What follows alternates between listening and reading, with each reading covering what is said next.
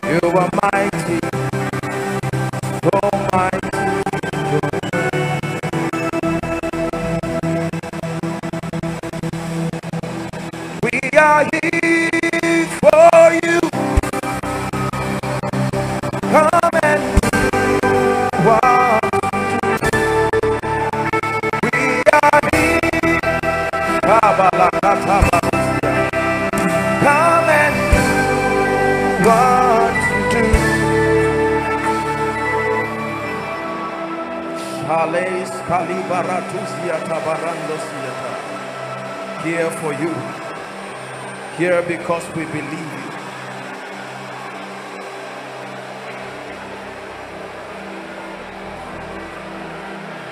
Keep praying. This is koinonia. Kadebarotos subrandeke parahashkalabatosia. Where the Spirit of the Lord is, there is liberty. Are you praying inside, outside? Engage in the Spirit. Shila barakatosia da barakotos. Hiya, hiya.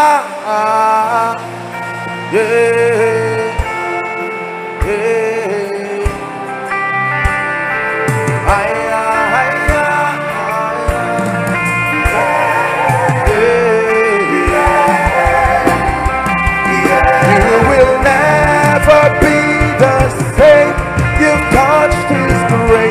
Your life is changed. You will never be the same. You've touched His grace.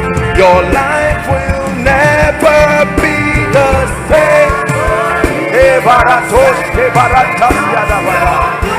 My life must change. I will never be the same.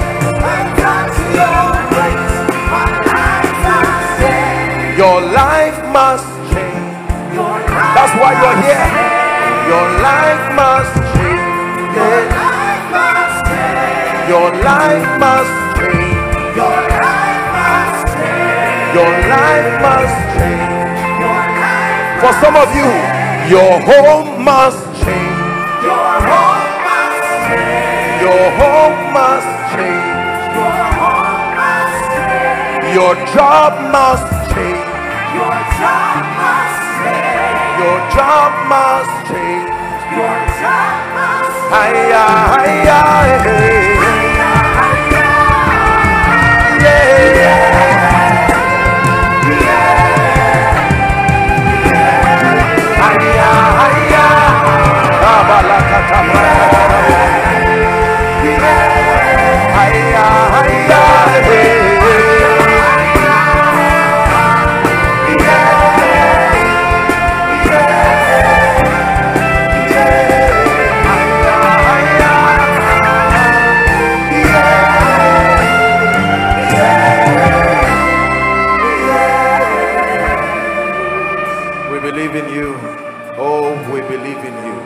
Spirit of the living God.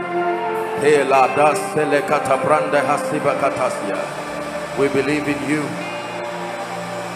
We believe in your grace. We believe in your power.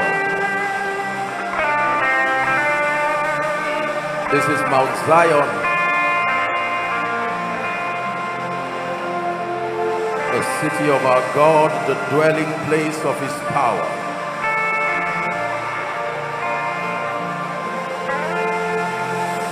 I'd like you to lift your voice in one minute and cry for a visitation tonight. Let it be from the depth of your heart. Don't look around, forget about who is by your left and right. Cry to the God of our salvation. Give me an encounter tonight in the name of Jesus. For everyone that asketh, receive it.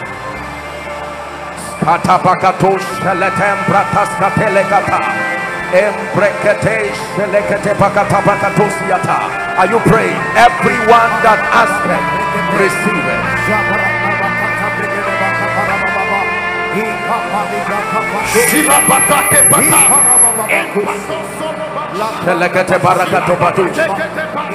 Sete batu jatekete brendekete barato sodo bakata. Krete baru zezina kata brendeke baruto sodo balakata barikata. Kigete berentes kete baruto sodo brendeke. Kete bakata barato kata brendekete bekata. Kigete berete kete barakata barakato. Pray. You're enlarging your capacity to receive.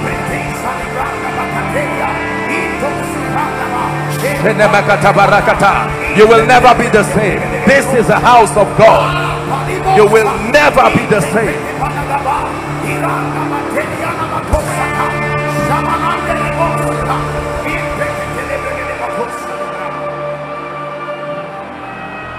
My deliverer is coming. My deliverer is standing by. There's a reason why I'm raising this song. Your deliverer is coming. Your deliverer is standing by. Your deliverer is coming. Your deliverer is standing by. We'll be seated shortly, but the Lord is opening my eyes I saw chains on the feet of people. That's why I raised this song. I'm seeing the number 23. I stretch my hands. Anyone under the influence of this unction, and there is a chain of darkness holding you. At the count of three, I want you to shout Jesus inside and outside. I want you to bring them here in the name that is above all names. This is Mount Zion, and the Bible declares that upon Mount Zion there shall be deliverance. Are you ready to shout? One, two, three. Shout Jesus. I break chains. I break chains. Bring them out. I break chains. Every chain that will not let you move forward. Every chain that holds you down. It must leave you now. In the name of Jesus the Christ of God. Bring them out.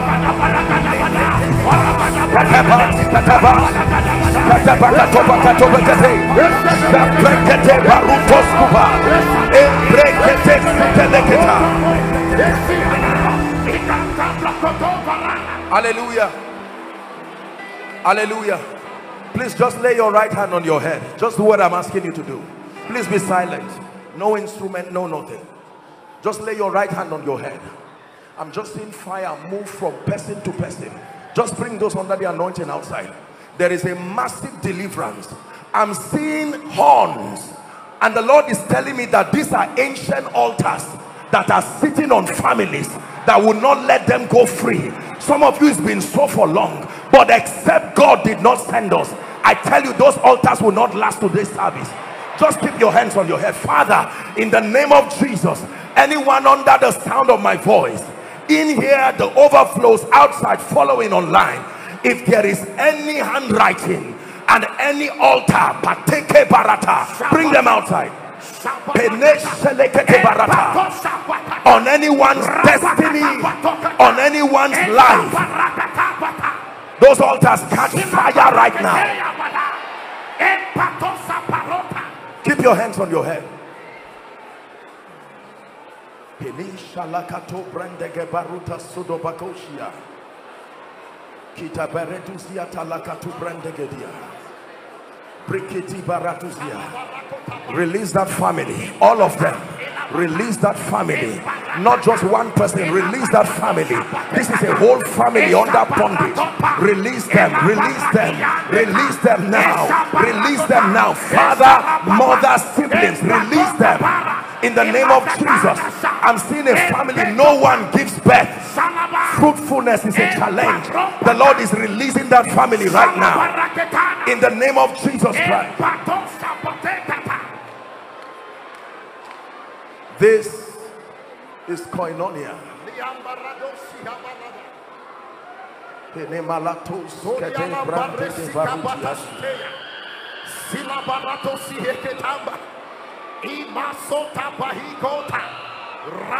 Every manifestation of witchcraft exchanging the glory of anyone here.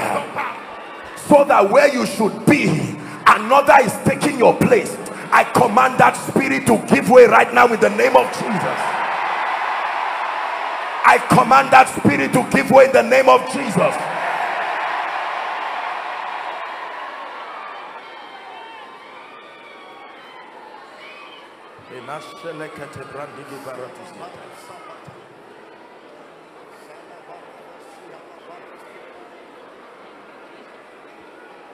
These chains that I see on people's feet it's time to release them right now.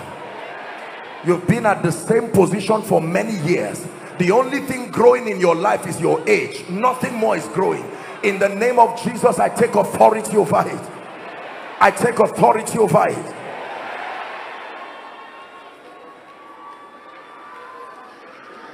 hallelujah who is bethel i'm hearing a name bethel Bethel will be seated shortly. But this is the house of God. Bethel. In the name of Jesus Christ.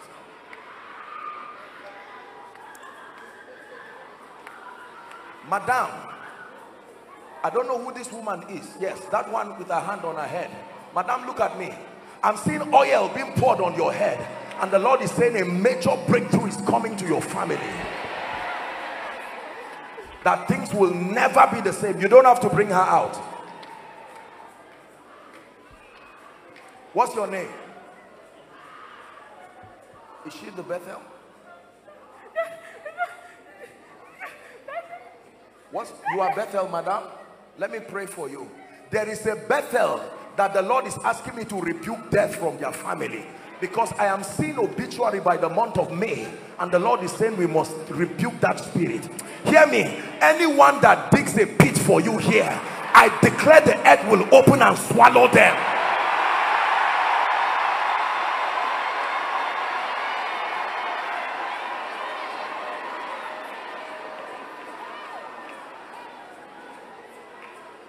Bible says and the Lord of peace shall give you peace always and by all means. In the name of Jesus I pray for you. All of the Bethels who are here I stretch my hands and I declare that the plague of death is over from your life and your family. We minister life by the spirit of grace in the name of Jesus Christ. And for all of you who are out here by the spirit I open up every closed door right now. And in the name of Jesus we release you to prophetic dimensions. Move to the next levels of your life next levels of your destinies. In the name of Jesus Christ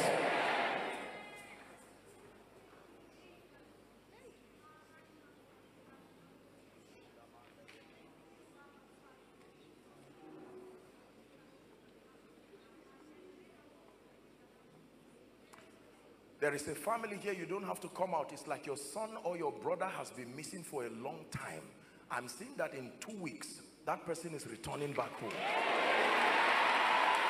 This is not someone that you, you, you thought that they kidnapped the person. They did not kidnap the person. It's just a stubborn child that ran away, like the prodigal son the power of God is touching that person because I'm seeing that boy now in Edo state. And God some boys are going to teach him maybe fraud or something like that. This is what I'm seeing that gentleman doing. But the power of God is touching him and in the name of Jesus he's returning back home.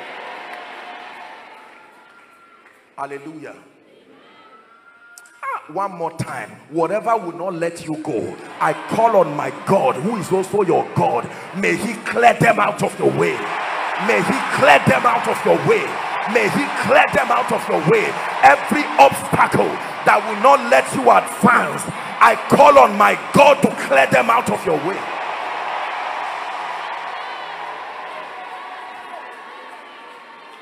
God bless you and good evening. Please be seated. God bless you. Please take these ones to their seat. God bless you. Thank you guys. Genesis chapter 28. I felt stirred in my spirit. We're on a prayer series. But I felt very stirred in my spirit to just prophetically speak a blessing in our lives before we begin our discuss. Genesis 28, we'll start from verse 10. The blessing is in verse 13 to 15. Please pay attention. The Bible says, And Jacob went out from Beersheba and went towards Haran. And he lighted upon a certain place and tarried there all night. The Bible says, Because the sun was set, he took stones from that place and put them for pillows and he lay down in that place to sleep. And he dreamed, and behold, a ladder was set on the earth, and the top of it reached the heaven. And behold, the angels of God ascending and descending on it. Are you ready for the blessing? And behold, verse 13 says, The Lord stood above it and said, I am the Lord God of Abraham thy father and the God of Isaac. The land whereupon thou liest, to you I will give unto you and your seed. Verse 14, it says, Your seed shall be as the dust of the earth, and thou shalt spread abroad to the west and to the east and to the north and to the south. It says, And in thee and in thy seed shall all the families of the earth be blessed. Verse 15, And behold, I am with thee and I will keep thee in all places whither thou goest and I will bring thee again into this land for I will not leave thee until I have done that which I have spoken unto you.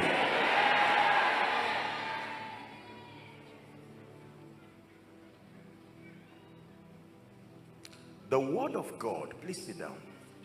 The word of God is very powerful. The reason is because God invested his power in his word. The word of God is beyond just the letter of scripture. You have to understand that. The word of God is not just a manual produced by Zondervan or Whitaker House or any other publishing company. It's more than that. The word of God represents the spirit and the life of God. It says the words that I speak unto you, they are spirit and they are life. That means if it is the word of God that is communicated to you, you should receive more than education. You should receive more than enlightenment because the word of God is not empty. Habakkuk chapter 3 from verse 3 and 4 the Bible says dear in the light that comes from his word is the hiding place of his power.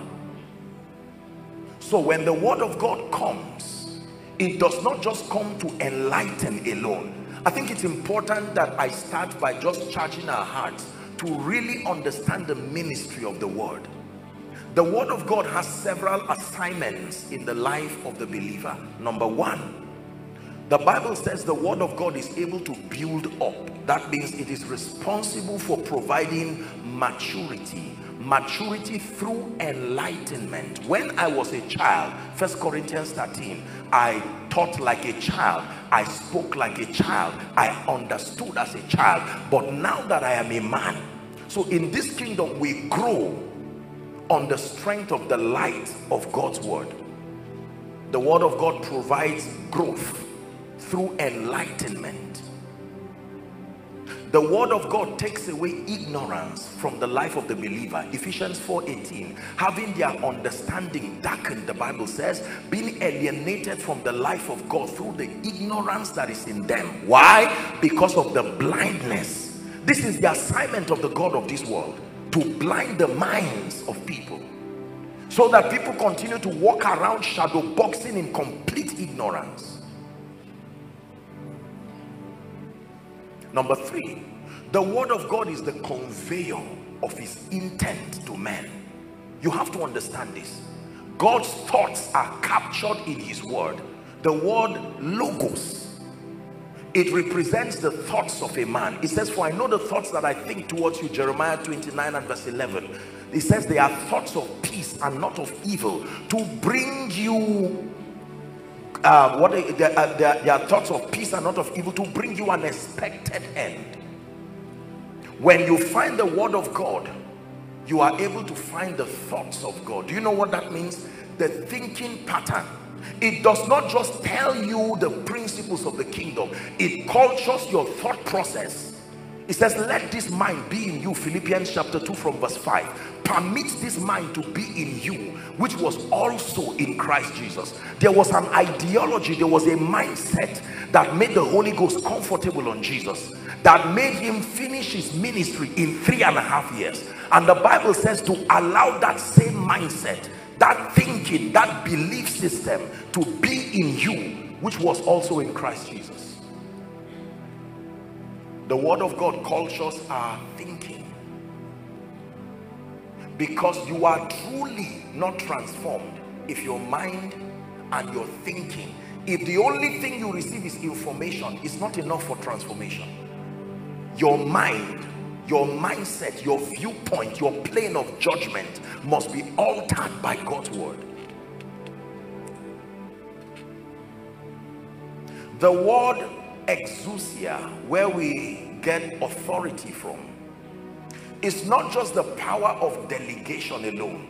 It is the capacity to stand in the office of a man by reason of enlightenment dominion and authority in this kingdom is light dependent it's not just an impartation please understand this it is not just because you found in scripture that the Bible says you have authority over principalities and powers, it automatically means just because you have found it, it becomes true in your life.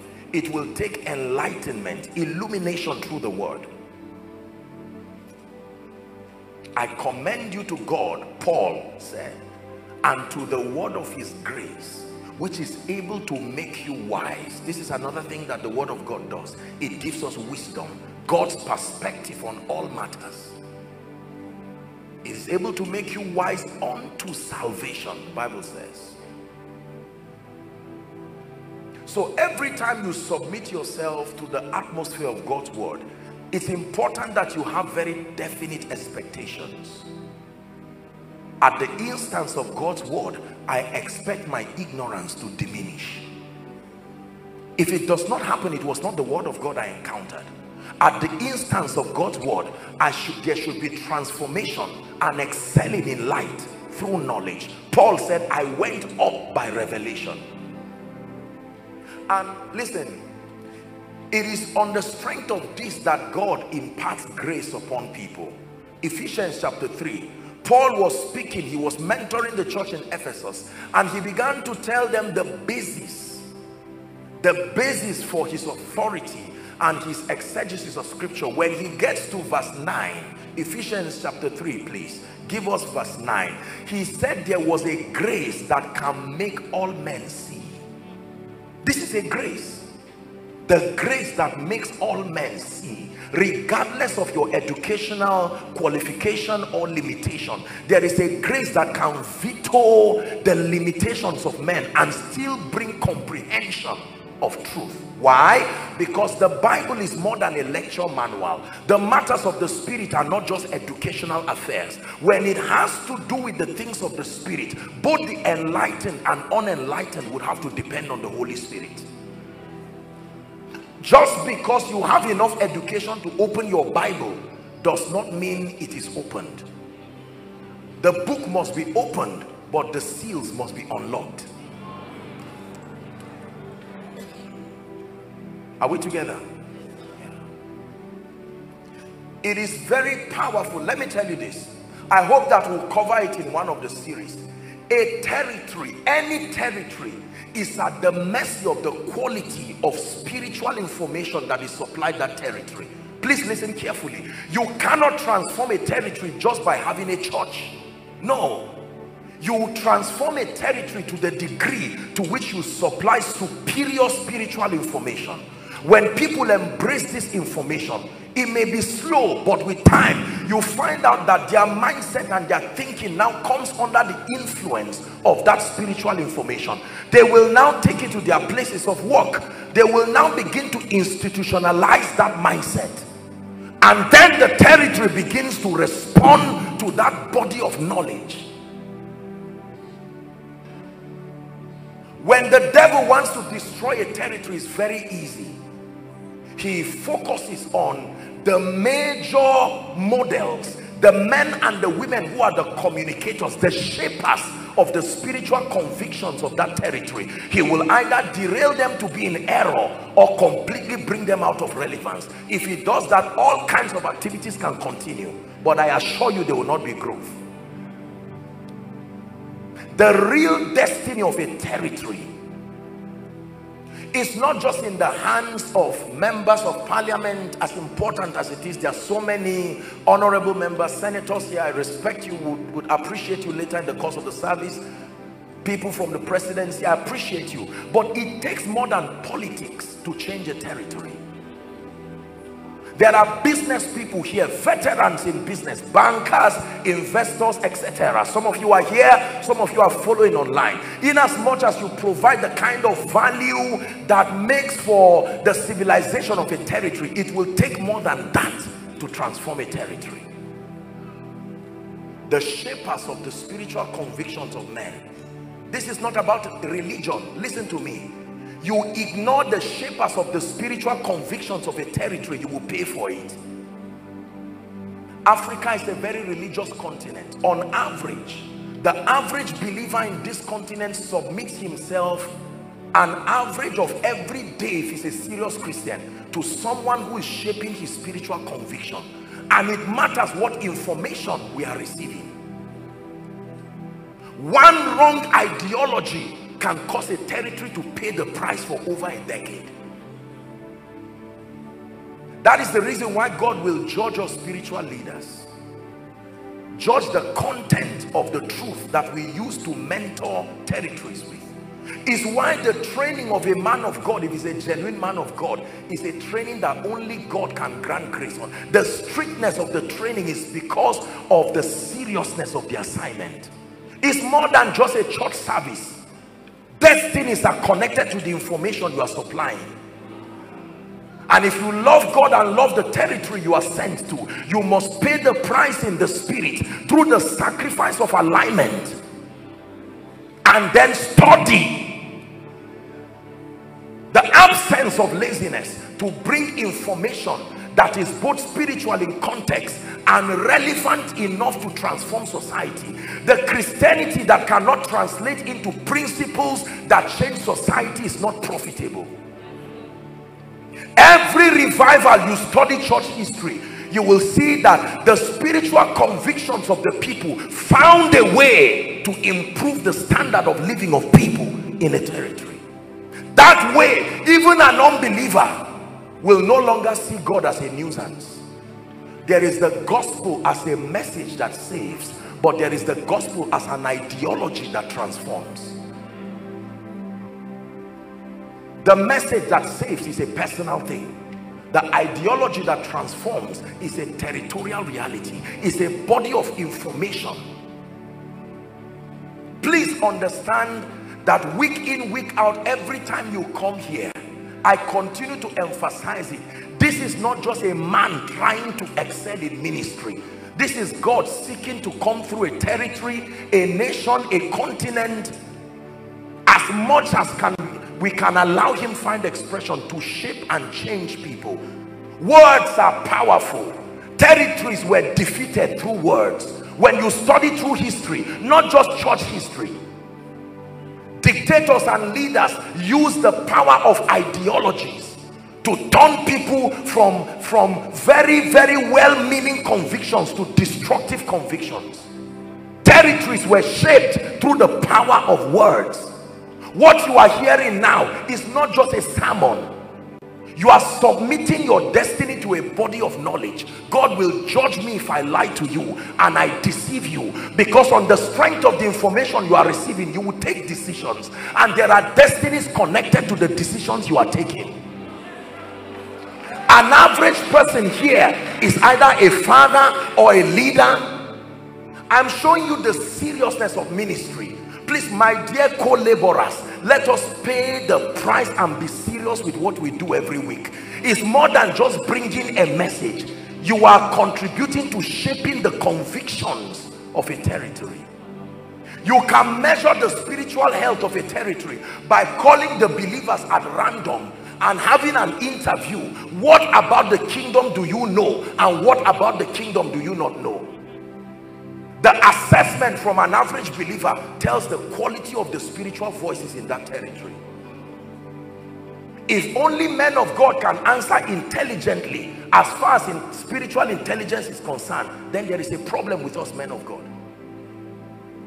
The average believer should be so built and so sound that whether in office in politics in parliament I'm not talking about fanaticism I'm talking about spiritual intelligence that translates into a marketable dimension of God that makes even an unbeliever to want you.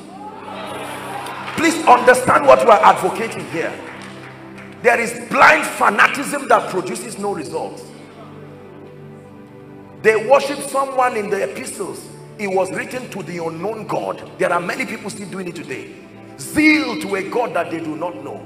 God is not just the God of Christians. God is the God of all flesh. There must be a dimension in our spiritual communication where Muslims and unbelievers can still find relevance in what we are doing. It doesn't have to be only Christians that listen to us.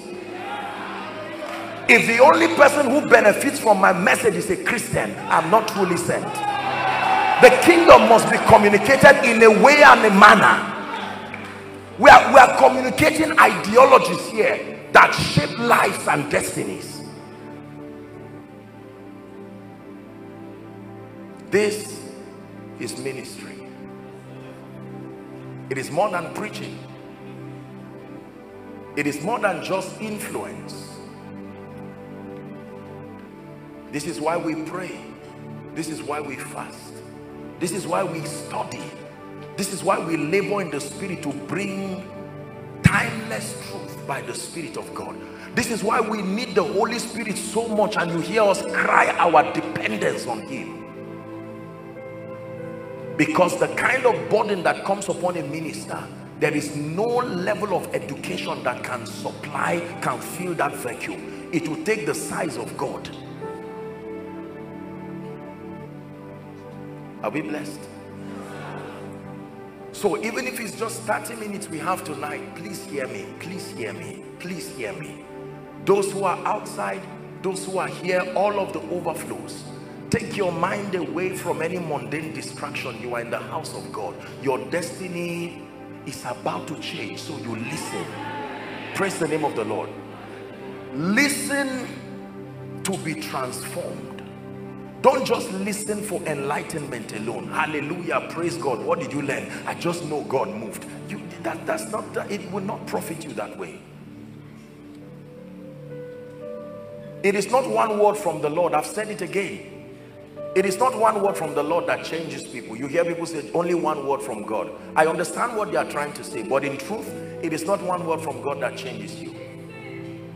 One word that is communicated with intelligence, explained properly, received by the believer, and applied accordingly. That is the word that transforms. Your company is dependent on this spiritual information your political career depends on this information away with that thought that makes it look like coming to church and listening to God is just a filling up of space. It's a waste of time. It's a nuisance to civilization. I may not know what your experience has been hitherto but let me tell you something. You are in a place where every second and every minute you invest your destiny here i want you to know that it has profitability all wise it gives you intelligence that can bring you wealth. It brings you intelligence that will save you years of shadow boxing. I will search for you and I will find you. And I will find you with all my heart. That I will search for you and I will find you I will find you with all my heart I will lift my voice to you in worship and I will worship with all my heart. Only seekers find. I will search for you and I will find you. Yes, I will find you with all my heart. I will lift my voice to you in worship and I will worship just lift your voice in one minute and pray to God. Grant me knowledge.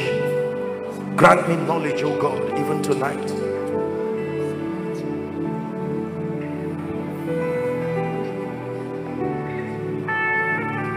Oh, let me rise to a higher pedestal. It is within your power.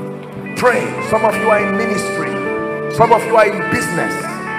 Bring me truth that can, trans can transform my life politics bring me truth that will empower me to be a blessing transgenerationally not just within the tenure of my political career are you praying this is part of the service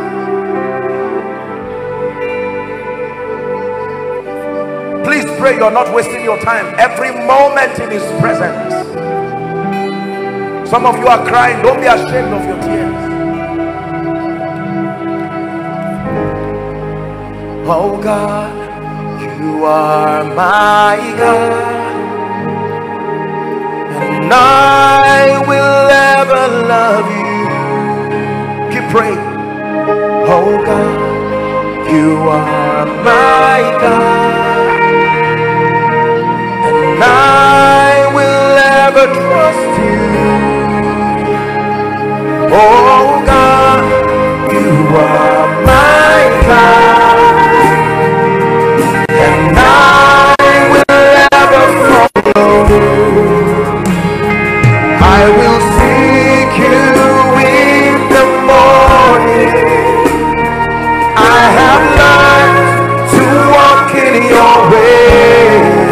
I like this part.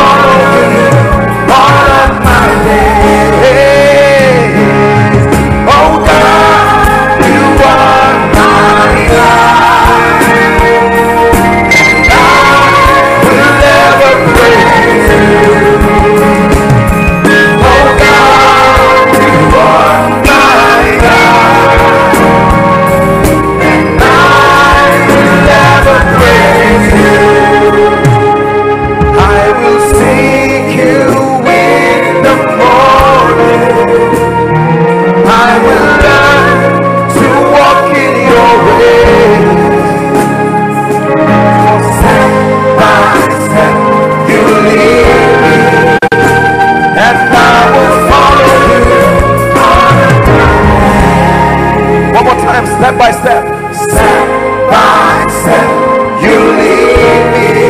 I may not look like it now, but I'm under the influence of unity.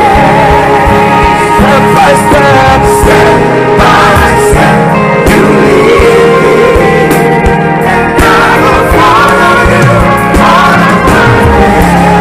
Listen, hear me.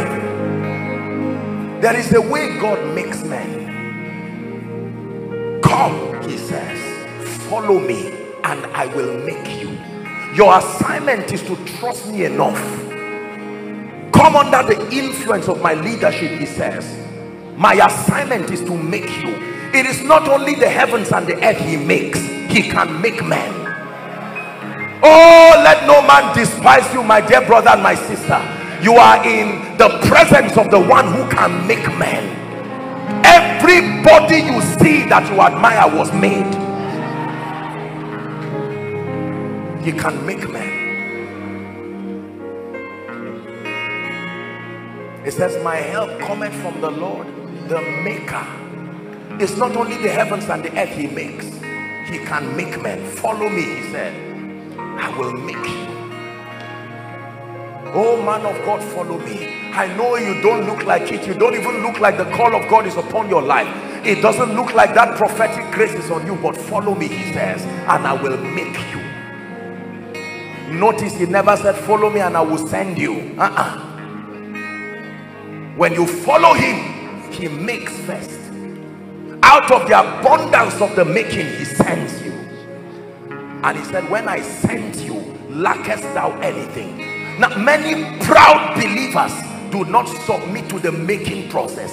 We are obsessed with being sent. And you see, let me tell you this. In the school of the spirit, any lecture you meet, any lecture you miss, you will pay for it in the future. In the physical, you can miss many lectures, say as a student, and then read up quickly and write an exam and pass.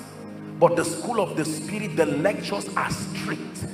You miss a lecture on character you can get anointing you will pay the price for that lecture you missed in the future. You you attend the lecture on character and miss the lecture on empowerment. When you stand before principalities and powers they will ask you who sent you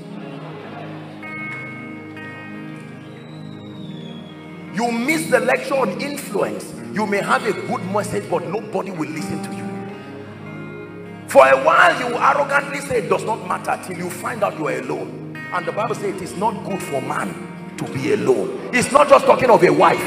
He's saying being alone is a risk in this life. It is not good for man to be alone. Show me the company that lifts your hands. Show me the promoters of your ideology. Politicians, hear me. It is not good for a man to be alone. You must raise men who become advocates of your ideology. Your safety is in the men that defend your convictions. It is not good. Let's get to the word. I don't know what brought me here. Will you believe that we've not gotten to our series? Did we greet? Good evening. Welcome to church. This is Koinonia. Help us, oh God. We have come to learn in the name of Jesus Christ. Praise the name of the Lord. Now, we began to consider a series on prayer, prevailing prayer, the mysteries of the kingdom. Now, I forgot to say last week that it, that was part one. Please, you may want to document that. And let me advise, respectfully speaking, when you come to church, whether it's an electronic device, or it is something the church of God is a place of learning. So when you come whether it is through your device or it's through a material to write there is always something for you to write down. Praise the name of the Lord. Parents please advise your children. Don't go to church hanging biros and sagging jeans and get a notebook as if you're a serious child intending to build a destiny. Let's love our children but not pamper them to destruction. They survive by instructions. Provided they are under your roof they must listen to your counsel. Hallelujah. A generation that hates knowledge is a generation that will be slaves. I repeat a generation that hates knowledge has sold themselves already into slavery. Praise the name of the Lord. The body of spiritual truth that is allocated for the victory of the saints, the Bible generically calls them mysteries. Matthew chapter 13 and verse 11. Jesus teaching, he said, it has been given unto us to know the mysteries a mystery is a hidden code of operation. It's a body of spiritual truth that is privy to a group of people. Are we together now? Yes. They are called mysteries because, largely speaking, those who have not encountered the Lord Jesus Christ may not understand them because of the character and the operation, the way they walk. For instance, if you're not born again, when you hear truths like there is he that scattereth and yet increaseth, there is he that withholdeth more than is meet and tends to poverty. That does not make sense because in the economic system of the world, it is by accumulation that you build. But the kingdom does not exactly work that way. Are we together? For instance, in the kingdom, our words have prophetic implications that they are shapers of our reality. Let the redeemed of the Lord, the Bible said, say so, not wish so. So we don't just wish things in this kingdom, that we, our speaking is part of the creative system of our destiny. But for an unbeliever, when you say say so, it doesn't make sense. But in this kingdom, we speak because even our God is a talking spirit. He speaks. So they are called mysteries. When we build believers and open up these mysteries by the Spirit, then we bring believers into this exact body of truth. The Bible calls it marvelous light. On account of that truth that you now have, that you now hold, you can walk in dominion. Dominion is the resultant effect of your comprehending the mysteries of the kingdom and can i tell you the mysteries of the kingdom are not infinite it's a finite body of knowledge you can hold and one of them is the mysteries of prayer. Prayer is powerful. Believers pray but largely we shadow box. We just dissipate a lot of spiritual energy. Based on how we saw those who led us pray. So we just follow and pray. There is so much dissipation of spiritual energy but then there's very little result for a long time I thought that you learned how to pray just by praying until I found out that Jesus did not just tell the disciples pray pray pray. He taught them to pray. Are we together? So we began to consider part one. Please you can do well. Go online get the first part so that you follow. Um, we're going to examine for this night very briefly Matthew chapter 6 this is Jesus. This is one of his mentorship sessions. I love Jesus. Did you know that all through the three and a half years of Jesus we never really hear him talking about anointing and empowerment? Look at how he made mighty men. He focused on teaching them. It took just one encounter to bring the Holy Ghost and power but it took three years to change their thinking empowerment is not so difficult. The problem is when the oil comes on a small container the container will make the oil look small. So before the arrival of the oil go and borrow vessels. Borrow not a few. Expand your capacity so that when the oil comes it will meet a container that is large enough. And when there was no more vessel the oil stopped flowing. Matthew chapter 6 please love your Bible and let's be students of scripture. In the name of Jesus spiritual laziness is out of our lives. We must obtain grace. Let us place value on the word of God not for the purpose of getting a sermon to preach. This is for our growth and for enlightenment. Are we together? All right so jesus when you read the account of luke you will discover that when jesus was done praying we discussed it last week. Um, luke's account is one of the synoptics and he the disciples said teach us to pray. They noticed that there was something about the way jesus prayed versus the result that came. The disciples were not talking about backsliding. The issue was not prayerlessness. The issue was inaccuracy in prayer. There was something about their prayer that did not produce results. But they noticed that the prayer of the son of the living god the messiah their mentor produced tremendous results like james told us he said the fervent and effectual prayer of the righteous he says that it makes uh, how, how does he put it now availed much so Jesus is teaching. And how many of you know that when Jesus is teaching, you pay attention? Matthew chapter 6.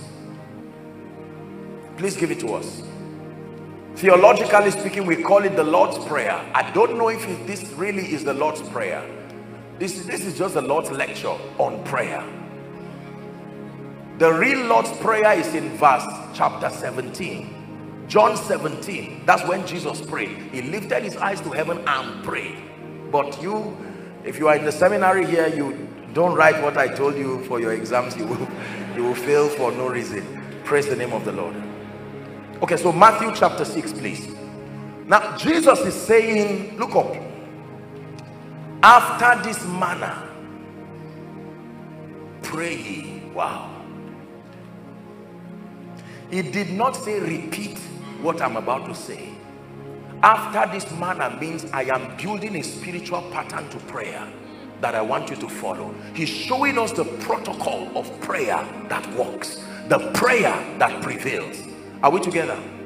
Now until this time he said a lot of things that i don't want to go into. When jesus began to discuss the issue of prayer go to verse let's start from verse 5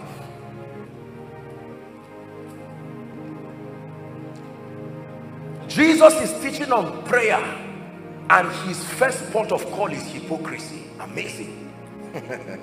Jesus is teaching when thou prayest thou shalt not be as the hypocrites what in the world is the relationship between prayer and hypocrisy?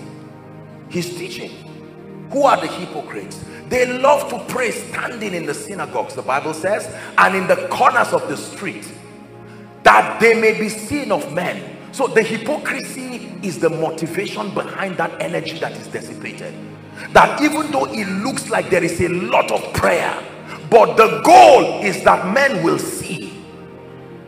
That when you approach prayer he's teaching here resist the temptation of trying to sign a spiritual register in the presence of people. There are many people today whose prayer life is already down but based on your assessment you will think it's up there. Because every time they see you they have not they have not resisted this temptation. This is africa and there is a lot of treasure that we place on people who pray which is wonderful. But i'm telling you that many people intrinsically they do not have the passion nor the revelation of prayer. But when we are before people the temptation is to dissipate spiritual energy provided there's somebody looking at you. Because of the assessment they will take back about you. And jesus is teaching on prayer. He's saying resist that temptation prayer is more than a desire to let men see that you are spiritual. That they may be seen of men. Verily i say unto you they have their reward. What is their reward? The perception that you have mog so you pray. That's their reward. Oh what a poor reward for such a sacrifice. Are you learning now? Jesus is teaching us prayer. Now he's not saying people should not see you but he's saying primarily your motive should never be to try to use spirituality to attract some sort of respect There are people who claim to pray and they are sleeping. The moment they hear a knock on the door and you open, they now act like they're praying. You go back and say, you mean three hours you've been here. They have their reward. Their reward is the perception that you live with, but there is no energy being dissipated in the spirit. We're in the school of prayer. Hmm. Next verse. Please help us. This is study. It says, But when thou prayest, enter into your closet and when you have shut the door pray to your father now look at this he is not saying just the idea is not pray alone you have to understand what jesus is saying here the idea is not refusing you from praying in public. Uh -uh. he's saying that the construct of your mindset when you pray should be that your focus should be on god. Enter into your closet. Are we together now? It's not just a literal statement to mean every time you want to pray run into your closet. No. He's saying whether you are in the midst of people or you are alone the moment is time for prayer. Let nothing around you distract you. Let your focus be on god please keep that scripture there. It says pray to your father which is in secret and your father which seeth in secret shall reward you openly. Verse 7 when you pray next warning. So we are addressing hypocrisy and we're addressing focusing on men. Now he's talking about vain repetitions. Now let me correct this because i know that there are people following from all over the world vain repetition here as the heathen do. I love jesus. There are repetitions that are very proper but there are repetitions called vain repetitions. For you to understand this you have to understand the ancient religions. They had chants that they used. Some of them were occultic. Are we together now? And there are some religions in the world that still practice it. They can chant a word or a phrase sometimes 5,000 times you understand what i'm saying? This is what jesus is saying. That when we approach the father to pray we should not use vain repetitions as the heathen do. For they think they shall be heard for their much speaking. He's not saying you should not talk. He's not saying you should not repeat prayer points. A lot of people have misunderstood this scripture. And every time they ask God for something they feel guilty for asking again. The Bible says Jesus prayed three times using the same words the same words verse 8 be not therefore like them, for your heavenly Father knoweth the things that ye have need of. Now, this is a very powerful information, but it's also very fearful. God, why should I then pray since you know the things that I need? Jesus is speaking, and he said, Nothing about your request is a shock to the Father.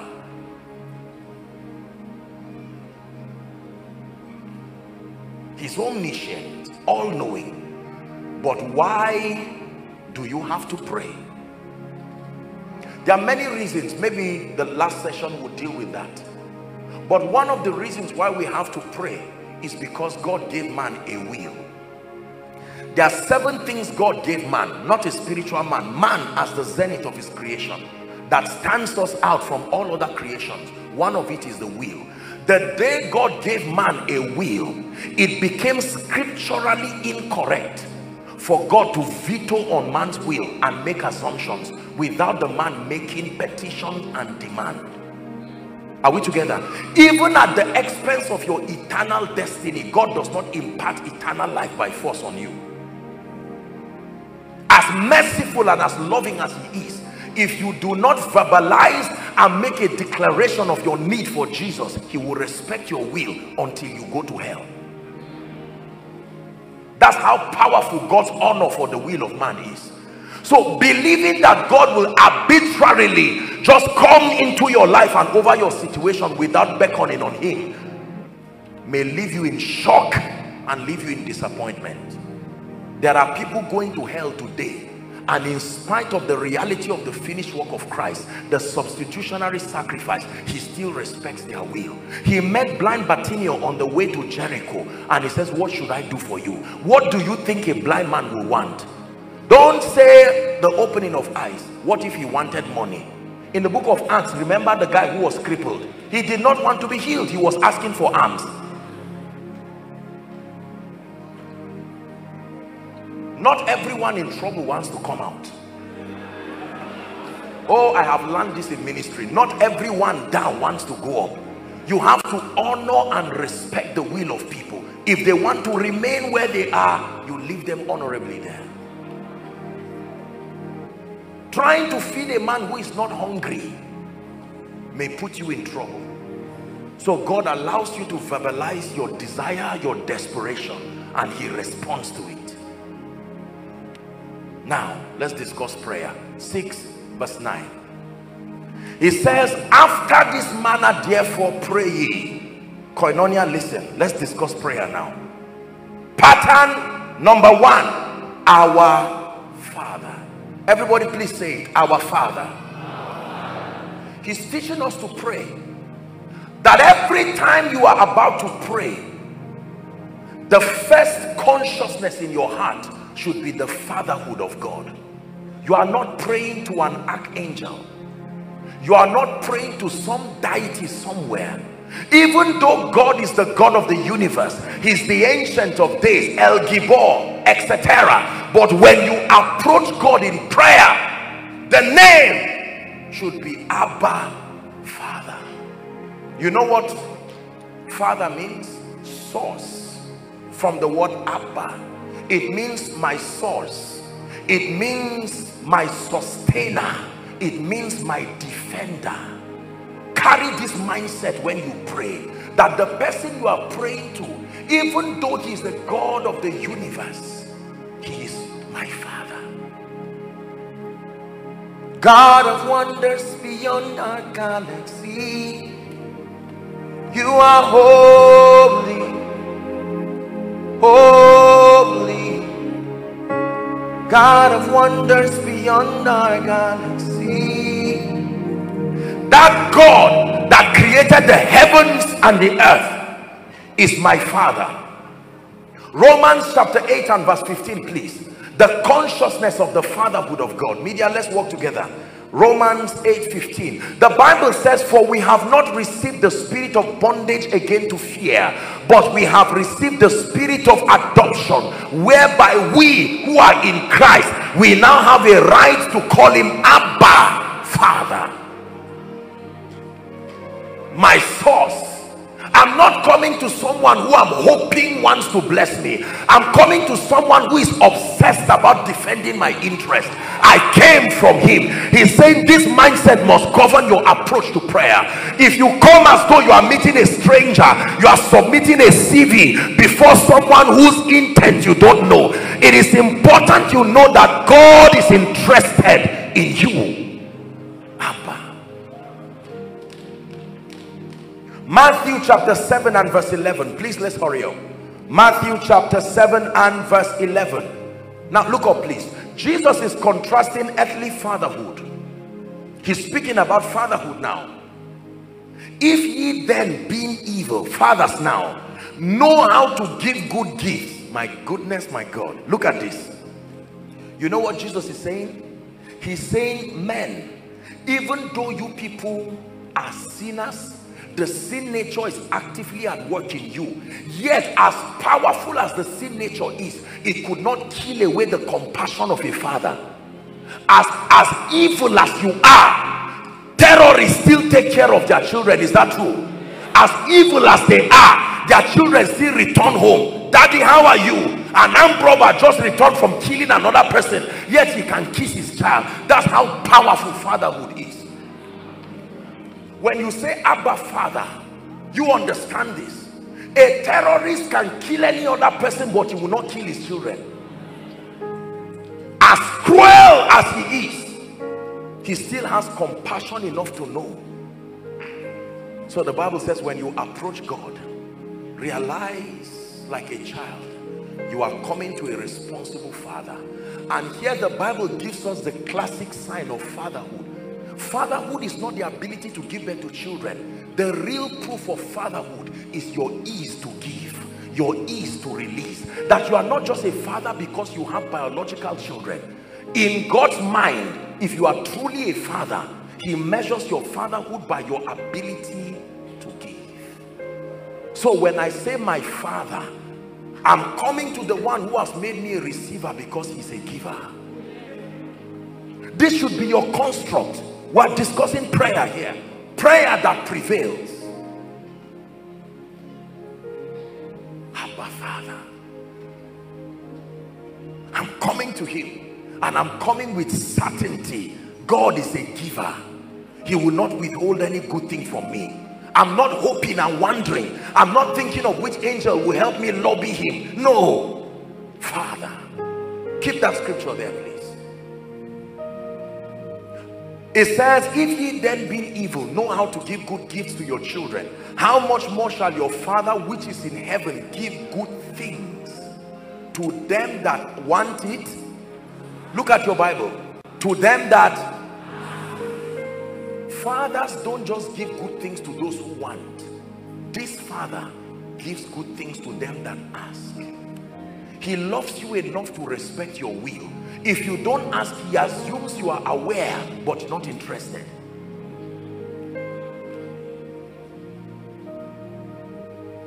Ye have not because ye ask not.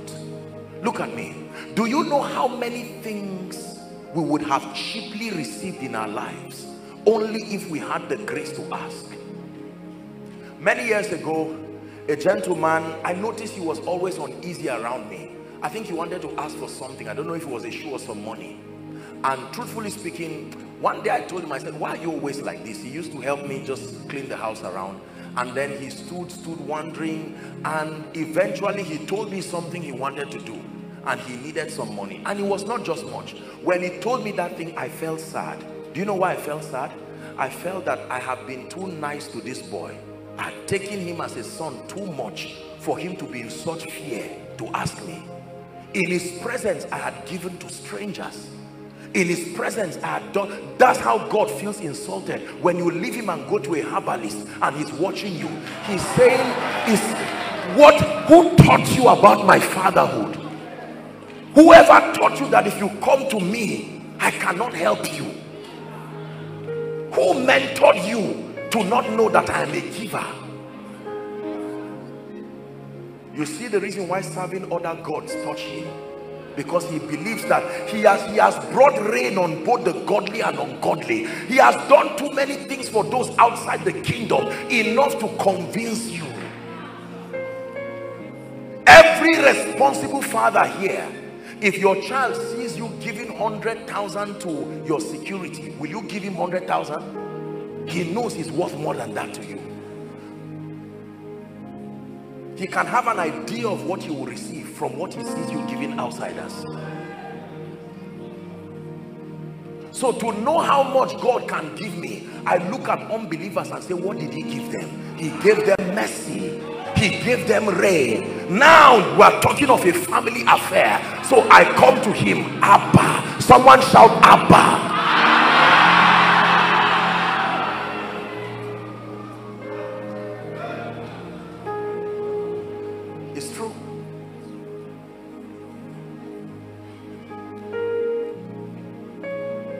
when you come to him know that he's your source.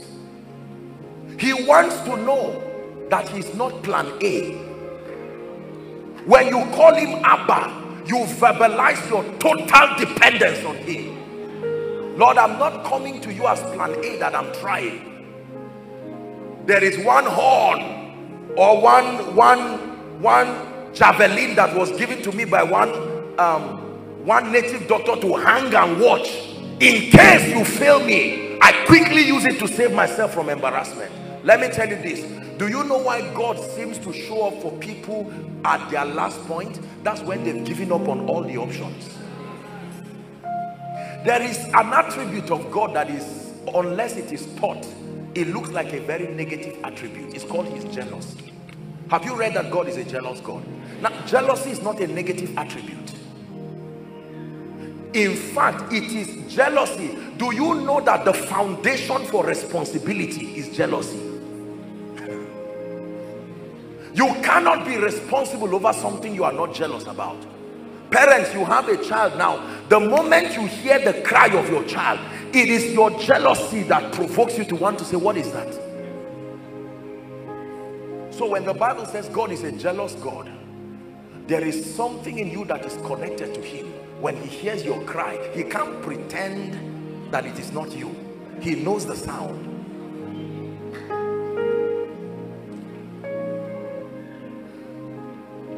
Abba my father when you approach God in prayer let him be your source your everything. Not plan B. Not to drop a Bible you drop a charm a talisman and say i'm praying to a universal deity. I don't insult your convictions. There are people following from all over the world. In as much as i respect your spiritual orientation this is a platform that advocates jesus. So let me have the confidence to do it unashamedly. You will not listen. Listen to me. You cannot mix jesus and a charm jesus and something in your pocket Jesus, no. Wherefore God had so highly exalted him and given him a name that is above every other name.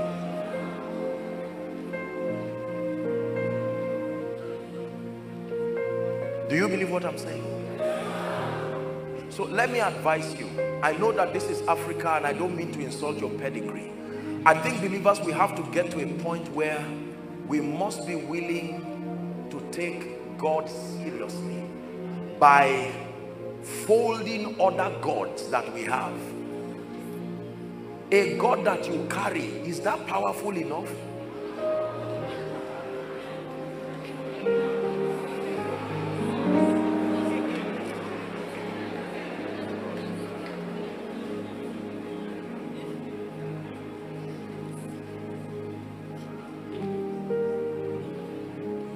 Many people have gone into traditional worship simply because the advocacy of prayer that had been proposed hitherto failed them. So don't be hard on anybody you know who is practicing Christianity and tradition. We're not here condemning.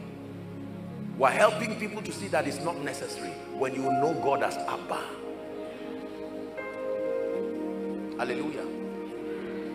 I look around and I see a few little children, our young ones just scattered in the congregation. And I can almost discern the extent of confidence you see those little kids You'd come as an usher or as a protocol to bully them. They came to church with the consciousness that they are under the defense of their father. They don't care who you are, what department, that is your business and those organizing it. As far as they are concerned, my confidence the only trouble in their life is when their fathers or their parents get up and want to walk away. That should be your true fear. If your father is not there it is worth being afraid of. That's why jesus rebuked them. He said what is the fear? You are looking at the storm. Am i not in the boat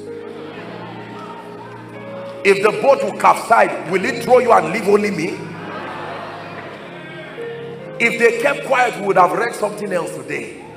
We would have read a boat that was elevating in the midst of the storm.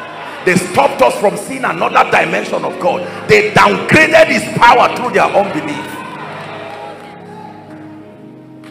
Let's hurry up. Abba Father. Number two the second revelation about prayer Please keep that scripture, Matthew chapter 6. We're still discussing verse 9.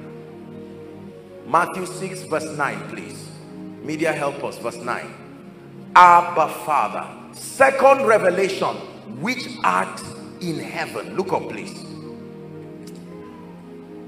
This means that every time you approach God, your faith must be alive. Are we together now? Because he's in a domain and a realm that is higher than this three-dimensional sphere. So you will need faith which art in heaven. Even though he's everywhere but heaven is his throne. The earth is his footstool. That means it will require faith. The one you are communicating with is so real yet he's not visible to the optical eyes. It will require faith to strengthen your conviction that even though you are talking he's listening to you. What a god his feet his legs are in the earth. The bible says the earth is his footstool. And yet you talk whether in a whisper or in a shout he still hears. Which art in heaven. Hebrews chapter 11 when you read verse 6 hebrews 11 it says but without faith it is impossible to please god. Look up believers. Why? For he that cometh to god must come with this conviction that he is. That means he exists. Don't come hoping is he really alive? Jesus is alive. Forever he's alive. Amen. Remember that song? He's alive. He's alive Jesus is alive, forever he's alive. Amen. I know that I'm serving which art in heaven. Your situation to say, where is the God? Can you see him? Just because to build a job, a relationship. Many of you have friends you have never seen, yet you are so close to them, you can feel the impulses of their emotions. Why are you feeling bad today? And he tells you, I have a bad day, yet you've never seen him. They that worship him must worship him in spirit and truth. Please, someone say he's alive. That means when you approach God in prayer, remember which art in heaven. He's in heaven, yet he's with you. So we say he's here. An unbeliever looks at this and say, how stupid a statement. He's here? Where? Where is his chair? That's the carnal man. It's a mystery. How could he be seated on the throne, seated in my heart, and still in the room? What sort of a God is that? Anywhere there is a throne, he sits there. There is a throne in heaven, he's seated. There is a throne in my heart, he's seated. When we build him a throne in this place, he sits. If your home builds him a throne, he sits. Anywhere he finds a throne, that means he's crowned king. He will come to honor you. Could that be why he's not found in your home? You have built yourself thrones, but you have not built him a throne. He shall reign, he shall reign, he shall reign forevermore. Crown him King of Kings, crown him Lord of Lords. Listen, which art in heaven means you will require faith all the time. Without faith, there are things you cannot believe. Without faith, you cannot receive. Remember the scripture I taught you, Mark 11 verse 24. What things soever ye desire, it says, when ye pray, believe that thou receivest it, and thou shalt have them. You can never have what you have not received. Receiving is a spiritual thing. I received that miracle. I received that job. And you are laughing as if you have it genuinely. And unbelievers look at you. They keep mocking till they start celebrating. Next instruction to help us with prayer. Hallowed, let's hurry up. It says, Hallowed be your name. Verse 9. Please keep verse 9 first samuel chapter 2 and then 30 hallowed be your name. Hallowed be your name means in spite of his fatherhood you must approach him with the spirit of reverence. Please look up. The revelation of the fatherhood of god can so affect us. It can get to a point in our lives where we trivialize him like many people have. So he reminds you that even though you approach him with confidence you must approach him from a standpoint of reverence. It's called yirat adonai the fear of the lord. It's not enough to believe in god. You must revere him. Please give us that scripture samuel. It says wherefore the lord god of israel said i said indeed that my house and the house of my father should walk before me forever. But now the lord saith be it far from me for them that honor me look up believers i will honor and they that despise me i will lightly esteem. That means not take them seriously. You must approach god with honor. This is where the balance and, and i say this with every sense of respect pentecostals and charismatics have made a big mistake and a mess of the revelation of things like the grace of God and the fatherhood of God. Because in a bid to instill confidence in people to approach God sometimes if we are not careful we erode away the healthy reverence to have for God. And God has a way of bringing you back to order. When you dishonor him too much he has a way of doing something spectacular in your life that will reduce you back to say God I fear you. He says now that you are back let's continue the way it used to be fathers remind their children and say, hey, hey, it's all right. You are jumping on me, but remember, this man you are jumping on is also CEO. He's not just your father. I've allowed you to climb my neck is enough. You can climb my neck and play. You can climb my neck and do whatever. But by the time you bring spoon and say, let's eat together, and it becomes a habit, then the father says, no, this is daddy's cup. This is daddy's spoon. The child leaves feeling bad, but the father is happy because that is a balance. Otherwise, it will graduate to dishonor. One day he will do what the mother is doing. The mother is playing with her husband, and the child will come and slap the father too. So he reminds you he did not marry you. See the balance. This is God. There is a weakness in men. Every time great men are too available, the temptation for dishonor is around the corner. So there is always a way. It's a weakness in men. Is the reason why even sociologically speaking, most great men sometimes intentionally just create that difficulty to approach them as a way of reminding you that they did not get there by mistake. When they give you access and they study your sense of honor or dishonor, when they find out that the closer you are coming to them, the more your dishonor is dropping, they peg you there and you don't move forward from there. Maybe this is a lesson for someone to learn. That may be why a door that was once open closed against you. Because great people gave you unusual access. And the revelation of their fatherhood was there but you missed the reverence part. It's a combination of lion and lamb. God is not only lamb he is lion. You don't play with a lion. You can play with a lamb. Because you see a lamb that later becomes a sheep does not have horns. It can't hurt you it will only depend on the safety of the shepherd but a lion will tear you into pieces. God is both. He is both depending on who you are.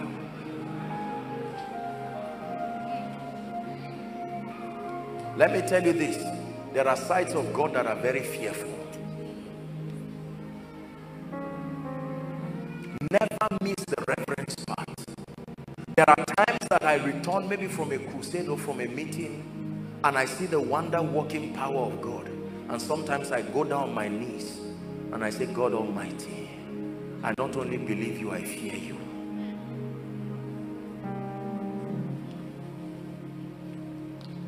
Maybe God is speaking to someone who has been trivializing God. You walk to him casually I'm the righteousness of God in Christ. I didn't ask you to die for me. You died for me. Now listen carefully. Here are my prayer requests. We call it confidence. Number one i'm tired of this pay scale. Raise me up. Two i am this. And we blackmail him and then we wrap everything up. Uh, i expect between now and the next two weeks. If you are really god please listen. I'm not being sarcastic never allow your reverence for God to erode. No matter how close you get to God or greatness do not ever forget that greatness still remains greatness. Please this is a word of caution. Leaders maybe this is why many great people do not invite you to their tables again. They have seen that you do not know how to manage the system of greatness no matter how God even if God comes to jump around you know once in a while you see him warning his disciples because they got too used to him and say hey before your father Abraham I am for that information. Don't you think you are just two years older than me Peter? Ah I know they killed all my age mates from two years and below. Don't you ever think we're age mates before your father Abraham was when he resurrected in John 21 he said little children have you any catch? They were used to him by now. None of them say ah God you are he's the ancient of days.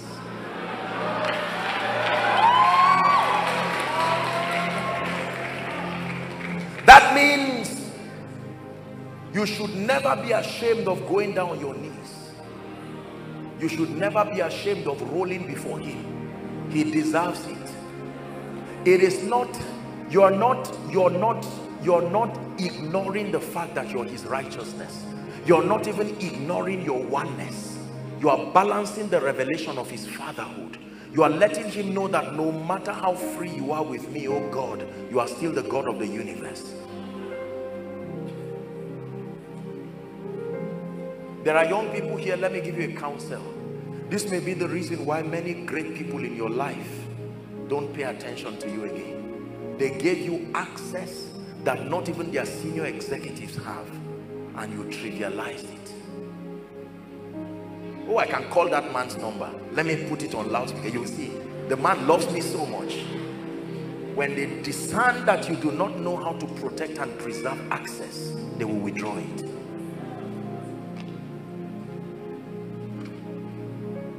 Are we learning something this night? Hallowed be your name. Boldness, according to Hebrews chapter 4 and verse 16, should not be mistaken for pride and dishonor. Hebrews 4 and verse 16 says to come boldly before the throne of grace to obtain mercy and find grace to help in time of need. Boldness is coming knowing that every sin and everything that can stand as a blockade has been gone why? Through the substitutionary sacrifice of jesus his son. Now he has become a new one a living way. He's given me access to the father now. I come without a sense like kenyon would define righteousness as the ability to stand in the father's presence without a sense of guilt inferiority nor condemnation. Yet in the midst of it that reverence will still be there. Even in heaven they still bow. Yes, sir. Even in the throne room, they still bow. You don't find anybody just running around the throne room and say, it's my father's house. There is still order. Satan is not there. Yet there is still order. Hallowed be your name. Next verse, verse 10. 6 verse 10. Thy kingdom come, thy will be done in earth as it is in heaven. Please look up. I can spend the whole night, even if this were a vigil, discussing this one scripture. This is Jesus teaching us on prayer. Let's do a quick recap. He says, when you pray, this should be your understanding that you are praying to the Father. You will require faith because it's in a realm that is not earthly. Are we together? That you must approach Him with the spirit of reverence. And then your priority, as far as the manifestation, is not just your needs, pray that his kingdom comes. You know what his kingdom is? The kingdom of god. Look up please. The kingdom of god represents the life the culture of heaven. It talks about the sovereign rule of heaven finding expression. That you pray that his kingdom would come. How? By his will being done so his kingdom only comes where his will is being done. Wow. Do you know what God's will is? I wish above all things, the Spirit of God speaking through the apostle, that ye prosper and be in health, even as your soul prospereth. That's the will of God. It is not his will that any man perish, but that all come into repentance. Let me tell you this, please look up. If the will of God is really done in your life, you may not have a prayer request again. Are you seeing what he's teaching you? He's saying that even though I will answer your request, the reason why you still have prayer requests is because the kingdom has not truly come and his will is not yet done. That if the will of God is allowed to be enforced, you will not have any request again. So more than the prayer requests that seem to multiply by the day, pray that his influence through his will find expression in your life. If the kingdom comes, your life must be a replica of heaven. Question. Did you ever see any angel making a request in heaven? Did you ever see any 4 and 20 elder making a request in heaven? Did you ever see any of the living creatures? All that happens in heaven is worship. Do you know why? Because the kingdom has found expression. So if the kingdom comes to your house, you will not even need to say, God, what about this issue of school fees? The kingdom of God is not just some cloud. The kingdom of God is God's will and God's intent in its entirety finding expression in your life. Someone say your kingdom come. Elohim Adonai, thy kingdom come, thy will be done. It's our prayer. Elohim Adonai, thy kingdom come thy will be done Elohim Adonai, thy kingdom come, thy will be done. Elohim Adonai, thy kingdom come, thy will be done. Imagine what happens to Nigeria if his kingdom comes and his will is done. Imagine what happens in Africa if his kingdom comes and his will is done. Imagine what happens to your political career, to your business.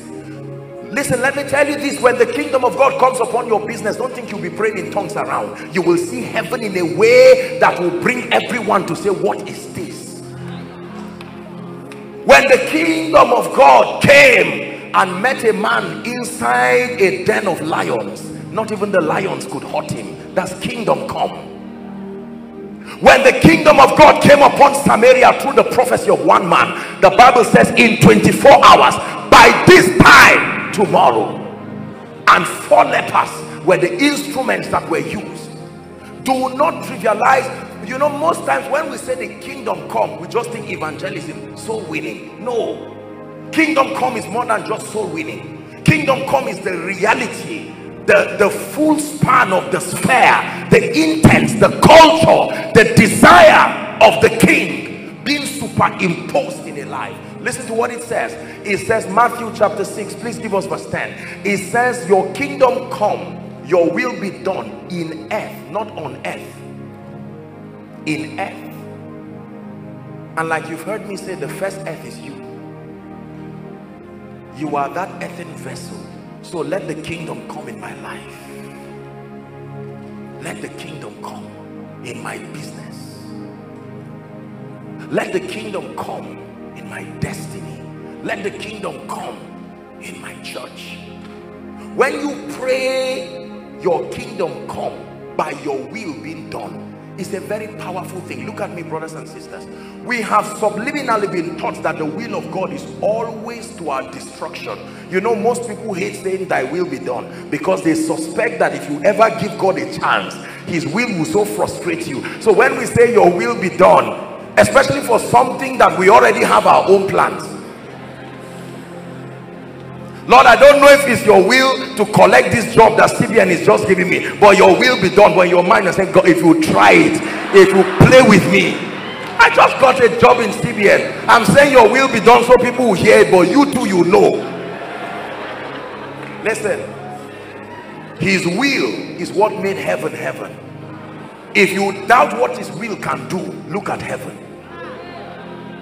Heaven is what happens when the will of God is not resisted. I repeat, heaven is what happens when his will is not resisted.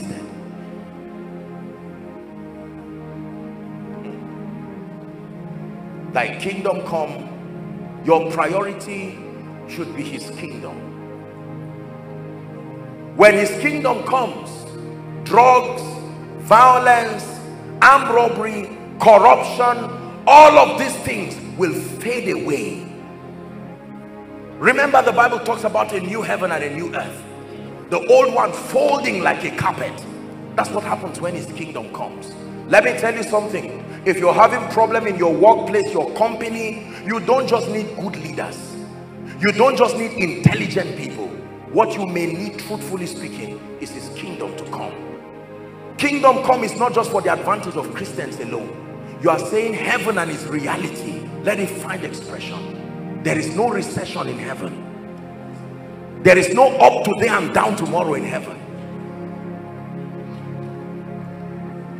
a description of heaven is what proverbs i think chapter 4 and verse 18 i hope i'm right. He says but the path of the just is as a shining light. It says shining ever brighter more and more. There is no better yesterday. Reject that thing over your life. Your yesterday should never be better than your tomorrow. Reject that kind of life that that plateaus and then you start plunging down that is the that is a a dangerous heritage that africa tries to propose to us. That you rise to a point whether in ministry whether in life and they say it's your time. Afterwards fade away i reject it. The bible says the path of the just 30 years after now we're still shining. Listen it is unto you according to what you believe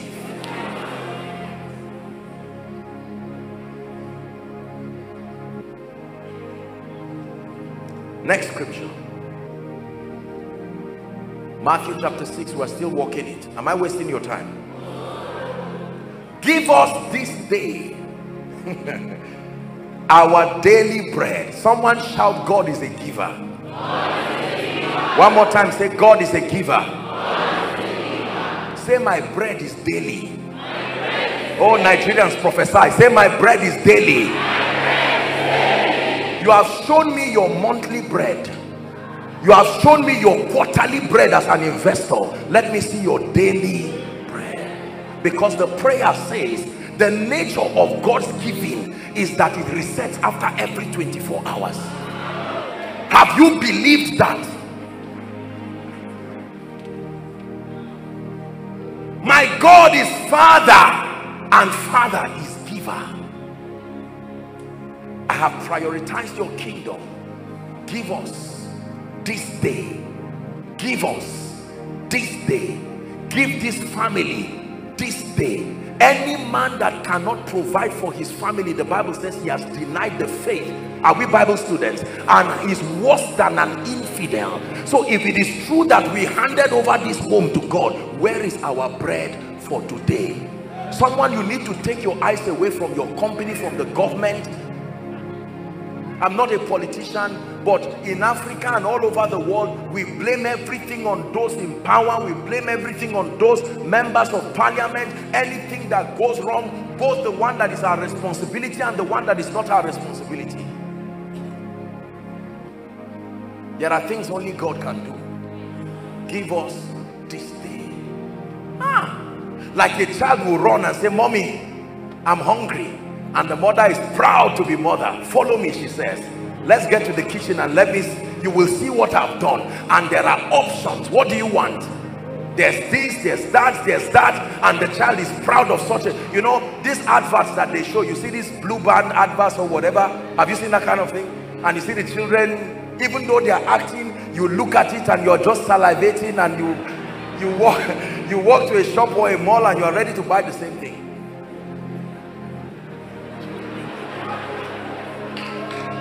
do you believe listen to me. Do you believe God is a giver? Do you believe he can bless you daily? Now please I'm not promoting irresponsibility. We're very responsible people. And when we teach we teach from a balanced perspective. Because if you just teach believers to just wait for God another way if you don't balance it you will produce irresponsible citizens this is what has made many young people to not be productive. They will not get jobs. They sit down and live in superstitious realities that keep punishing them and their wives and their children. This is not what i'm advocating. I am saying that as a believer in addition to all you do there is an advantage by reason of your being grafted into Christ. That it provides you a platform aside. You can hold your salary and you can hold God's, God's provision. You will know the difference.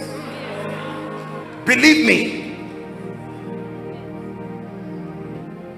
let me speak to you in the name of honesty. How many of you know that based on the current African salary scale if you are to build an enviable destiny many many jobs as far as this country and Africa is concerned not to insult and demean government or entrepreneurs they are doing their best but by the scale of salary you will not be able to do much in your lifetime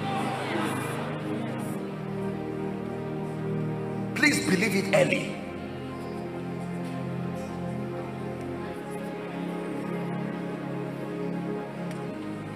You want to do ministry. Many of you here are pastors. My dear co-laborers in the kingdom you will not be able to do ministry and if all you are depending on entirely respectfully speaking is just the givings and what comes from the bowls offerings you know that sooner or later there will be grievous tears that's a risk a big risk. When I approach God I know that he's a giver. And let me tell you how God gives.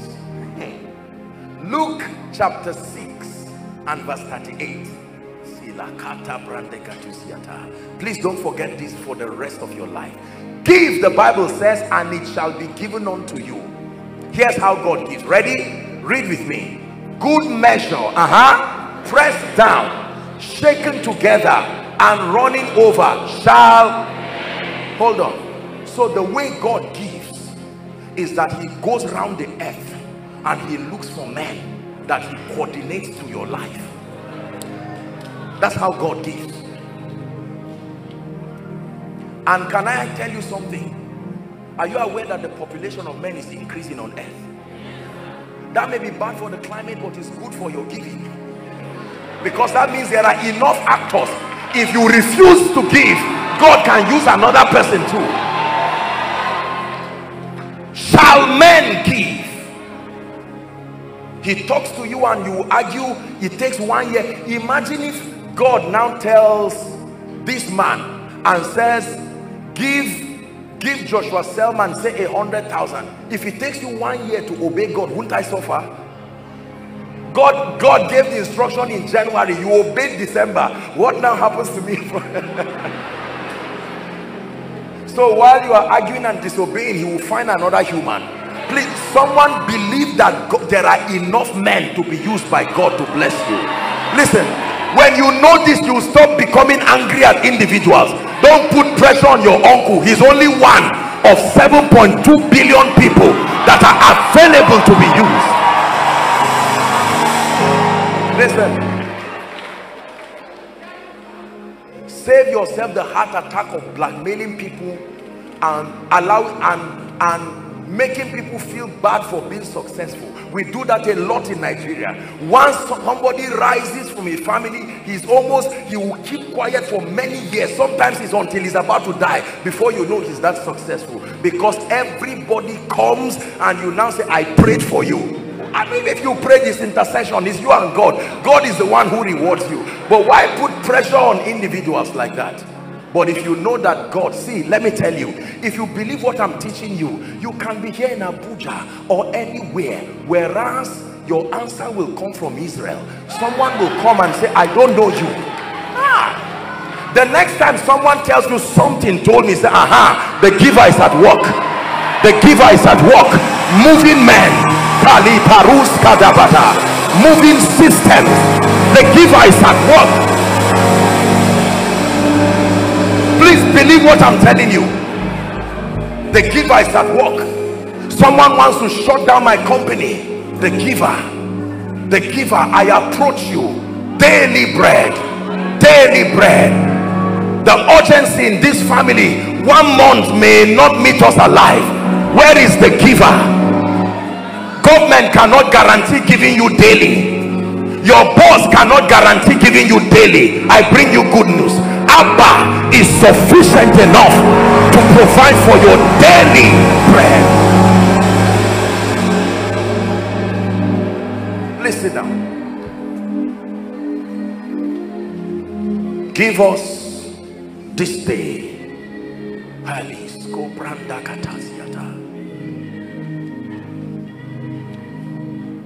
When God was going to send me to this city, you know what it means to come to Abuja from Zaria? You are intelligent, think well. If God does not send you, you will not only disgrace yourself, you will be a memorial, you will be a lesson for people. You you will be a portrait of what disobedience looks like. They will use you in bible schools to teach people. Parents will use you to caution their children. People in politics will use you to warn to show people how painful it is to disobey god hallelujah. But when i sent thee lackest thou anything?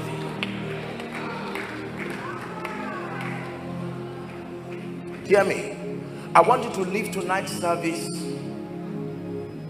with a sense of confidence. Look at men as if they owe you.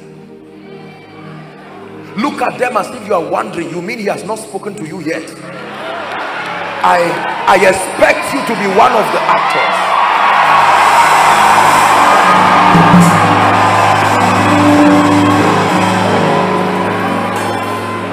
I don't mean talk to them and harass them.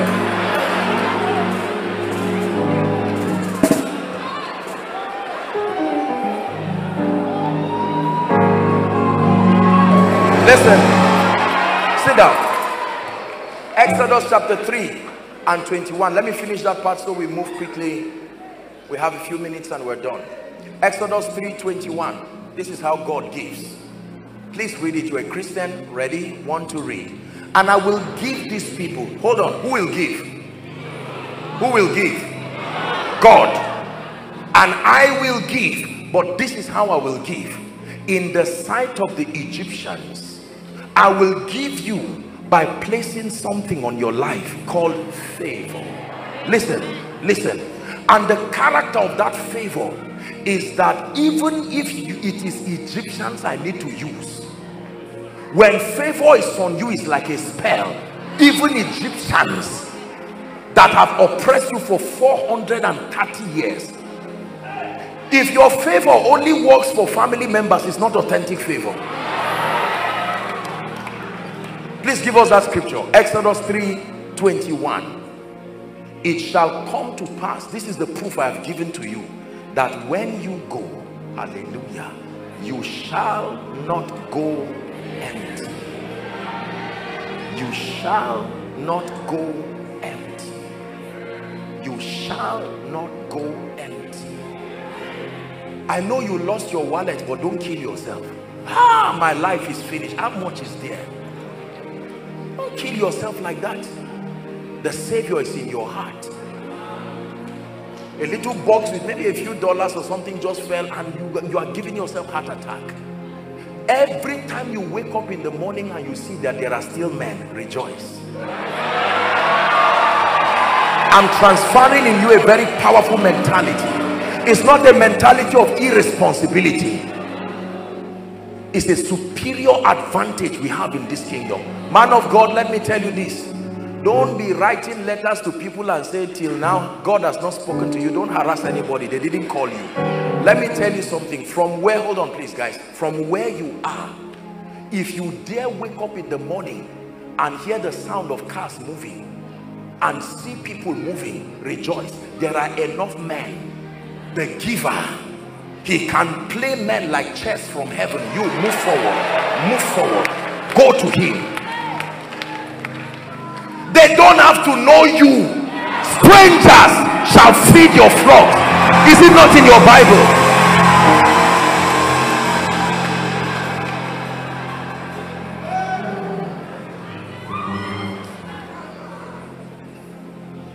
These are my convictions.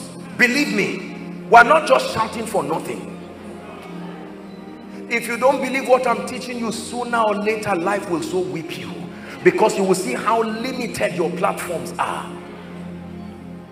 Men is how God gives. He uses men. Men.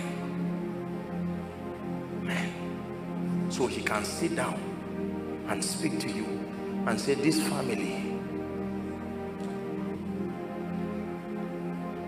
I'm instructing you that they never beg for bread again. Listen. And you come to that family and say, God sent me here. How many of you are working in this family? Well, only two of us how many of you are graduates all of us why is that so anyway god has instructed me to come it is god that gives but he uses men take away superstition around giving giving comes through men what god gives you is he gives you the capital that buys money. It's called true riches. In one of our sessions on finances i hope god will grant us grace to deal with it. If all you have is money you are in trouble. Because there is a realm you get to where everybody around you is rich. What then do you have? Money itself is a product. There is what buys it the same way money can buy a bottle of drink there is something that also buy, buys money.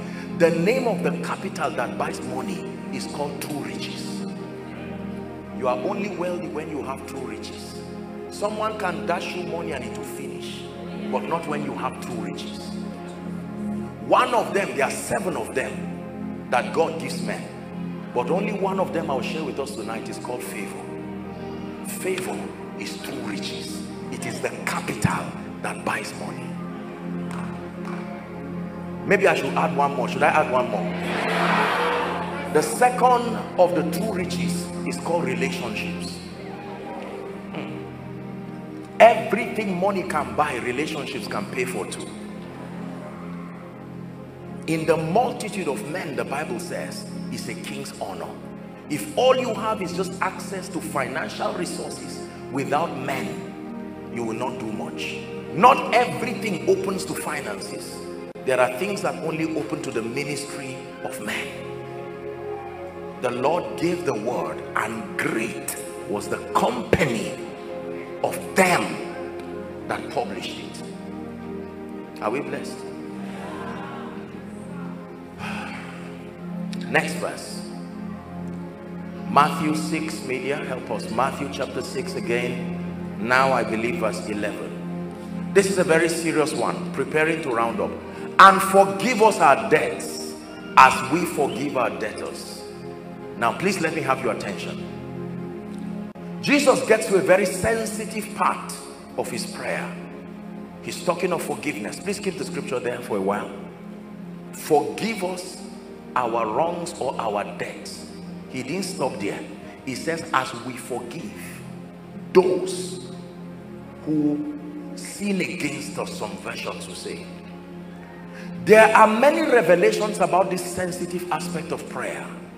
And if we do not learn this we may not be able to excel in our prayer lives.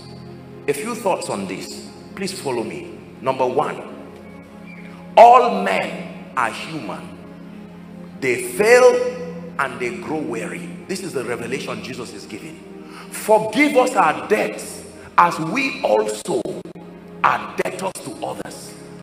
He's planting in his disciples a revelation that you are in the world of men that the best of all men are still men.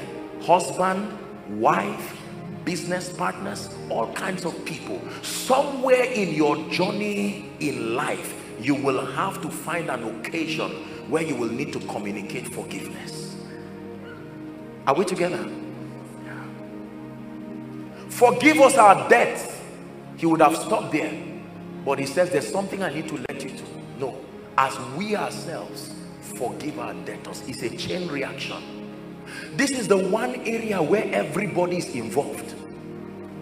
Both the one praying those listening he's saying forgive us our debts. That means as you live in this world this is not just a prayer issue now. It's a revelation. Live with the consciousness that all men are human.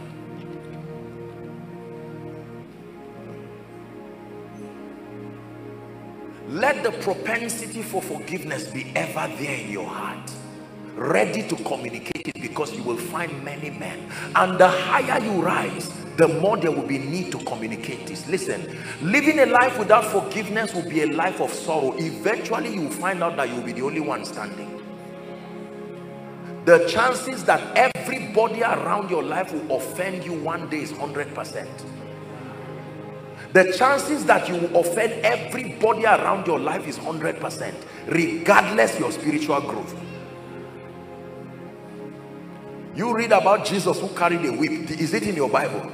That one day Jesus entered a temple. He didn't report the rebellious people to the Roman government. As a nice coordinated citizen would do he carried the whip and took laws in his hands whipped all the people turned the table of the exchangers and was preaching hard and said my house should be called the house of prayer. If you were in government ladies and gentlemen and a report reaches you that Jesus just, just did something like this what would you do? Now jesus i love you but why have you tied my hand now? That's what happened to king nebuchadnezzar. When they gave a decree they said no prayer should happen to any god for a period of 30 days. Daniel went to pray. He didn't do wrong but he offended the laws of the land. Offending people has nothing to do with being evil. It's a difference in perspective difference in values.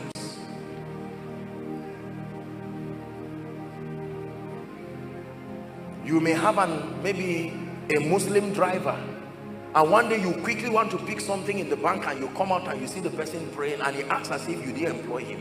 He doesn't even pay attention to you until he's done with his prayer. And you while he's praying you are just thinking and wondering how do i punish this man? Do i drive him? Do i jail him? And yet he's, he's a very sincere man a man only honoring his conviction.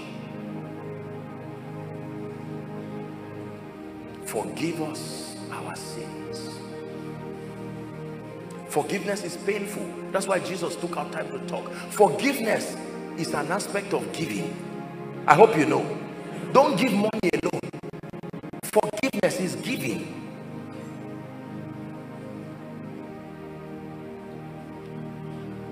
You laid aside your majesty gave up everything for me suffered at the hands of those you have created you took all my guilt and shame when you died and rose again. Now today you reign in heaven and now exalted. I really want to worship you, my God. You have won my heart and I am yours forever and ever. I will love you. You are the only one who died for me. Save your life to set me free. So I lift my voice to you.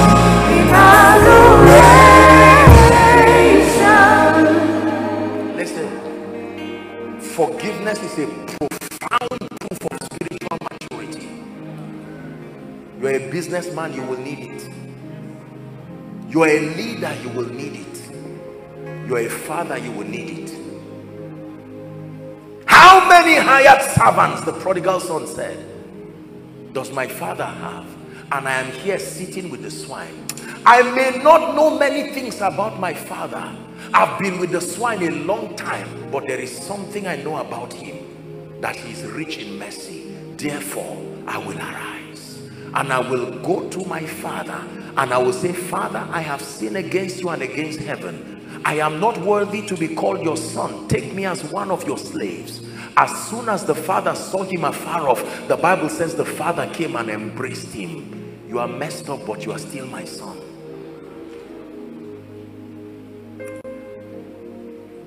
Listen to me.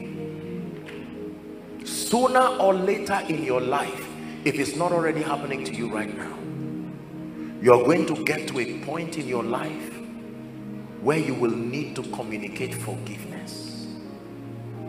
Cheated in business. Backstabbed politically. Betrayed in ministry. Taken advantage of. This is the world of men jesus is teaching us if i ask everybody to come in, to come and pick this mic and tell us the story behind your resentment for men some of you concluded that all men are wicked and evil and devilish. I don't need any man. No. Take it easy. God still uses men. Some of you is preachers you hate. When you see any man on stage, you curse him before you even know him. That's how they stole our money that year. Exactly. And the man can preach just like him. That's that's exactly. Listen to me. My brothers and my sisters, hear me. I bring you the word of the Lord. It is important for you maintain, don't just receive forgiveness. Jesus was teaching here. He said, I am willing. The Father is willing to communicate forgiveness. But you must have this revelation. Forever, for as long as you are alive, can I even tell you something? Your forgiveness will need to graduate into forbearance. Let me tell you the difference between forgiveness and forbearance. Forgiveness happens because of the limitations of men. Mistakes, limitations, ignorance, foolishness. Forbearance means that that weakness still remains in the person and you will have to live with it forever. That means it will be repeated again. This should be taught. Have you prayed for your son and you called him and say why are you living like this? Why are you a bad boy? And he says daddy i will never do it again. By evening police is calling you. Evening not the next day. Don't feel bad please if you have someone that's why they are here. We'll pray for them. Six o'clock are you the owner of this child? Yes sir. Please come to the we are tired. If this boy if he comes here again we'll jail him and you're standing there say i thought this guy just begged. At that point you don't need forgiveness again. You need forbearance. He's a prodigal son but he's still my son. Something happened and i'm only going to say it because archbishop benson idahosa is gone and then you know years ago this was from duncan williams himself. He he said how that i think it was oral Roberts, i don't know who came to ghana and had a meeting. And while they were reporting the meeting they made mistakes and they credited some of the churches that belong to bishop duncan williams to oral roberts. And when he heard it he said no he just tried to correct them sharply and then when the report got to oral roberts said no no no why should this guy be doing this and then he called on archbishop Benz in Idahosa and said, why is your son behaving like this? I mean, you taught this guy well. He should behave well. And then Bishop Benson Idahosa called him as his son to rebuke him. And he said, I will not come. Duncan Williams, in his own words, leave me alone, I will not come. You are not God.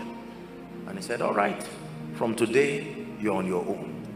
It didn't take two years. Everything was pursuing him, from government to demons to principalities, nature, men, everything. I mean it. He got to a point where he prayed, he fasted. No matter what you do, if it's in disobedience, you will have to go back to the protocol of God's ordinance. You're not going to quietly manipulate God in the secret place when you are living largely. No, it doesn't work that way. The prodigal son can ask for forgiveness while he's with the swine, but for restoration, he must still meet his father. Listen carefully. And then he now called and it was difficult to now reach Benson Idahosa. His life had been so shattered. He was a shadow of himself. And then he heard that Archbishop Benson Idahosa was in London and he booked a flight quickly. When he got there, he lay down flat on the ground and held his legs and said, no matter what happens, you are still my father. And he said, look what has happened to my life. And he said, Bishop Benson Idahosa just looked at him and after a while took a, a deep breath. And here's all he said. Satan, this is the business between me and my son.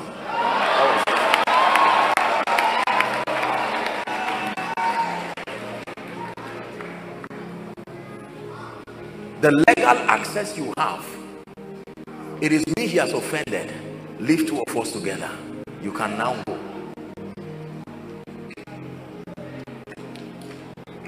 you will need to forgiveness many times in your lifetime you will need to give forgiveness listen to me there are people here who is as though you would rather die than to forgive your wife or your husband or your children. No. This child wasted my school fees. I, I wasted money paying school fees. I didn't eat well. I paid school fees and look the kind of result he brought. Let me tell you this. One of the most powerful words for me in the Bible is the word again. Again is a powerful word It's the clearest description of hope and Adam knew his wife again the prodigal son again the Lord is speaking to you here you're under the sound of my voice piling up a list of people for as long as you pin people down you too you will remain down you cannot rise when you are pinning others down Apostle, you don't know what they did to me. Apostle, forgive us our trespasses.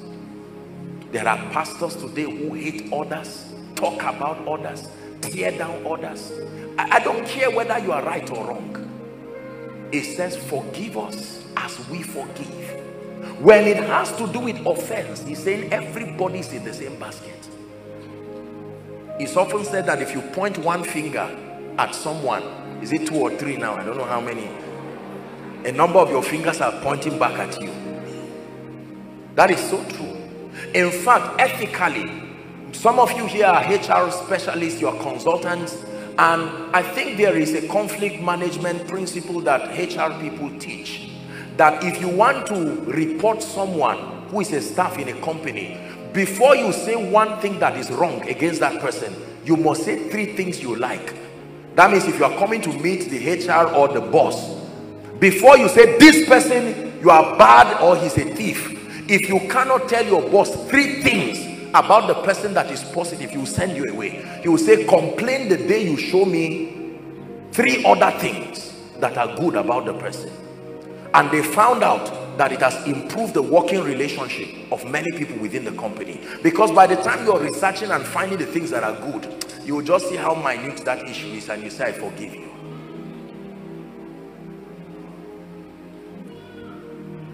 use it for your company from tomorrow. Call them and tell them I learned something. All of you come together. No more complain until it's ratio three to one. Where sin abound much more grace abound. So use that as a scriptural backing.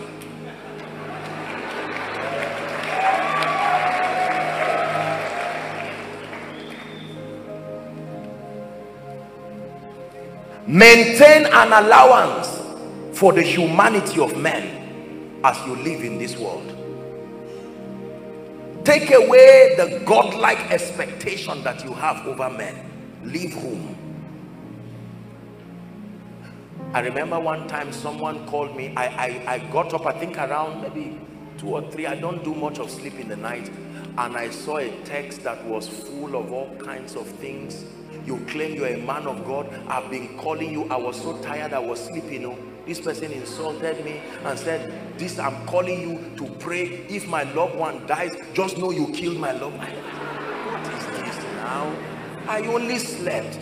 They say you pray in the night. Yes it's true but that day I was tired. Should I lie? I only I slept. Listen it's good to expect so much but you must have realistic know the difference between realistic and unrealistic expectations are we together? There are people today who get angry at politicians. I gave you 50 names to give all of them a job. You only gave five. What kind of person are you? Ah i've tried my best. You are not the only one. Didn't i vote for you? Your vote is only one. Be patient. What of business people? You must have a large heart. Please listen to me. The humanity of men is something you must factor in your heart. Otherwise, you will have heart attack every day of your life. Every day. Every day. I'm wrapping up. Let me give you a story. When I started ministry, I was so passionate about being in the good books of everybody. I'm a peace-loving person. I don't like trouble as you see me like this. If it takes me sleeping on the ground here for peace to reign, I will do it peacefully and quietly. People took advantage of me. People will sleep, they will wake up, stretch themselves and now try to call me. If I'm not available, they'll say, you said God, God told you, God sent you to us. I will feel so blackmailed. I was almost, I was drained let me tell you how God delivered me. I entered a Catholic church and I looked at the crucifix. You know, the, the cross that they put there. And the Holy Spirit said, whose face is there? This is true. For the first time I realized I was not the one who died for the sins of people. Honestly. Honestly. It just occurred to me that you can never truly satisfy everybody's needs. The goal is to be sincere and to do your best with the grace that God has given you. Because the time it takes to appease another is the same time that allows to offend another can you come to my house? Okay i'm coming. Ah you went to this house. What of my own? Okay don't worry. I will see what i can do. I would i would receive over five invitations for the same date. And they will forget to contact me and then remind me sometimes the morning of that meeting. I hope you are still coming. Our posters are out and i'm saying god what am i doing now?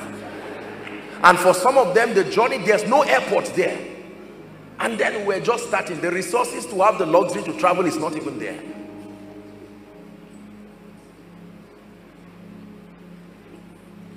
can you forgive? I went to preach somewhere. When i started out in ministry it was raining. I went through the rain. Do you know when i got to the church they didn't keep a seat for me? I was a preacher oh. yes sir. They were acting drama laughing around jumping and playing. I fasted i prepared a very serious sermon. I came to pray for people with all my heart. And here's what these people are doing. I stood at the door they put umbrella and then eventually they had to push some people please move move. That's how they got a seat for me. And then they acted drama for over one hour plus. They were laughing. I said what is going on here? Why did i accept this invitation? I'm not saying drama is wrong. And then when i got up i had not even raised one song of worship. They just brought a paper and passed a sorry time has gone and you know security uh, can i just maybe 15 minutes or so? I said oh no no come on what is this. In the end of it i still was happy. I said lord i'm not going to allow offense or bitterness destroy and corrupt. Someone came here hungry to receive. Let me tell you this. One of the secrets of the anointing is not prayer and fasting it's love and compassion. It's not enough to just want power. You must have a high level of forbearance. Some of the nastiest people in your life may be some of the most sincere people too. They are just people who do not know how to manage the emotions around their lives.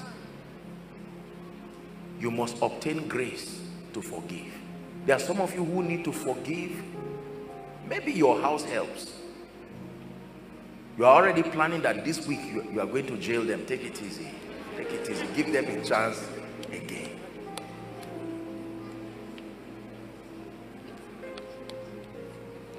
When i learned this in ministry it gave me peace. There is absolutely nothing that surprises me today in ministry now. My heart is prepared for anything. Anything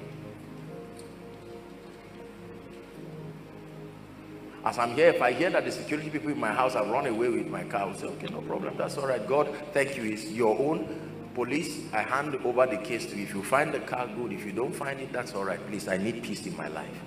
Make up your mind that you are going to have peace. Let me tell you this. Do you know the highest index for measuring wealth is peace? Not progress. Peace. There are many people today the names of people is what makes your blood pressure to be running up and down. You want to sleep you just remember oh this senator oh this person oh this business person. Can you imagine how this person betrayed me? Five billion gone like that. It's gone. But be patient. God can restore but it's when you sleep and wake up he restores. If you die they bury you. Make up your mind great peace have them that trust or love the Lord. He said, in nothing. Listen, make up your mind that you will have peace in your life. Nobody will steal. Your peace is an asset. Don't trade it. Are we together? Peace. I was told of someone who died from April Fool. True story. This thing they do during April. Know, you just come and lie and and they said something serious and he died of a heart attack. The person who was joking did not know what to do now.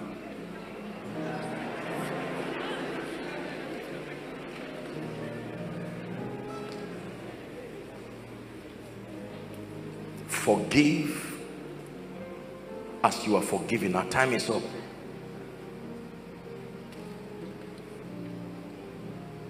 Let me touch on one aspect. Just give me five minutes and we're done Next, it says, lead us not into temptation, but deliver us from evil. Now, this is a very powerful scripture.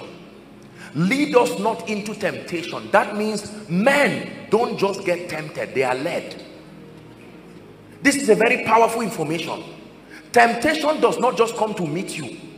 There is someone or something that leads you. And he said, Lord, your leadership does not lead men into temptation. Lead us. Please keep the scripture there. Lead us not into temptation. Is the day that armed robbers will come somewhere, a voice will say, Go and rest there. You are being led. You just go and sit down there and get into trouble. There are many people who were innocent, but because they could not discern, they went and fell into trouble. You must pray for guidance. Not everything that looks good is good. Not every door that is opened is anointed. In fact, almost all troubles first appear as good. Lead us not into temptation is a very powerful prayer the guidance, the leadership of the Holy Spirit. Isaiah chapter 30, you read from verse 21 and 23. Please, let's hurry up. Isaiah 30, 21 and 23. The Bible says, Isaiah 20, it says, Isaiah 20, Isaiah 30, sorry, 30 from verse 21 to 23. Please write it down for reference. Isaiah 30. It says, And thine ear shall hear a word behind thee, saying, this is the way walk ye in it. When ye turn to the right hand and when ye turn to the left. 22 the bible says oh dear. Let's just keep 21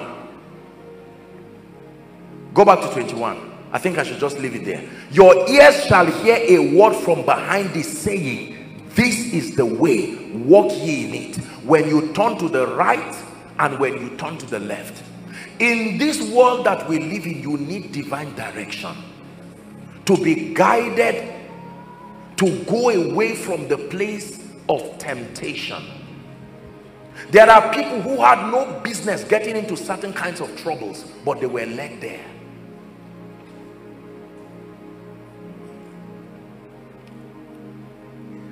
There are some of our children who had no business joining certain groups but they were led there they just got into the midst of people and they said okay we are this fraternity we are this occult groups.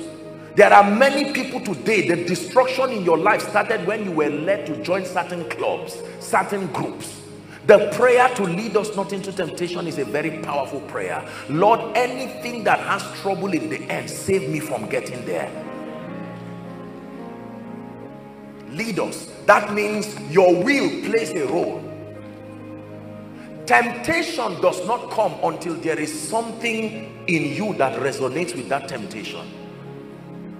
Are we together? Satan does not tempt you around anything in your life that does not truly desire. If you are broke the temptation will be packaged around finances. Chances are that you will respond to it. Because you are hungry. Remember jesus the temptation. The first temptation had to do with hunger. You are hungry. Why don't you turn this stone to bread listen don't just pray for your needs alone.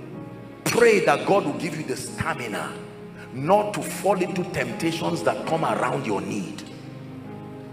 You may be needing a house in Abuja desperately. Your family members are stranded. And Satan comes. Why don't you compromise? And you will get one million overnight for a house. It's easy to resist temptation when you don't have a need Satan is not foolish. He will wait till you have a need and the need presses you to the neck. Then he comes with an offer. It's difficult to say no when you have a need. Lead us not into temptation. And then he says, deliver us from evil. Now, this one, evil, you don't have to go there. Evil is a, is a living spirit. It moves around looking for men. You know, a man of God, a man of God gave a story very very touching story about a man who tried to board a flight and he was rushing there and for whatever reason you know it was closed before he got there. The flight lifted. A few minutes later he would hear from the news. Maybe an hour later or so that the flight crashed. He was saying wow. Then he went to join a train and the train crashed. That one and he died in the train. You see that one death was looking for him death was intentional. If you if you miss the air i'm still waiting for you on land. Let me tell you this. Two scriptures please. Very quickly. Two scriptures. First john 5 19 first john 5 19 never forget this scripture. First john 5 19 the bible says we know that we are of god and the whole world not abuja not nigeria not africa. The whole world lieth in wickedness every one of us here is a potential victim of wickedness if unassisted by god. Everyone. You don't have to offend anyone. Just be alive. Even the dead body of Moses when Moses died was he free? Satan still came to carry remember he wanted the dead body. When Jesus died was he free they still put people to cover the body. What do you do with a dead body? They covered it in a tomb and they still put people to protect the body.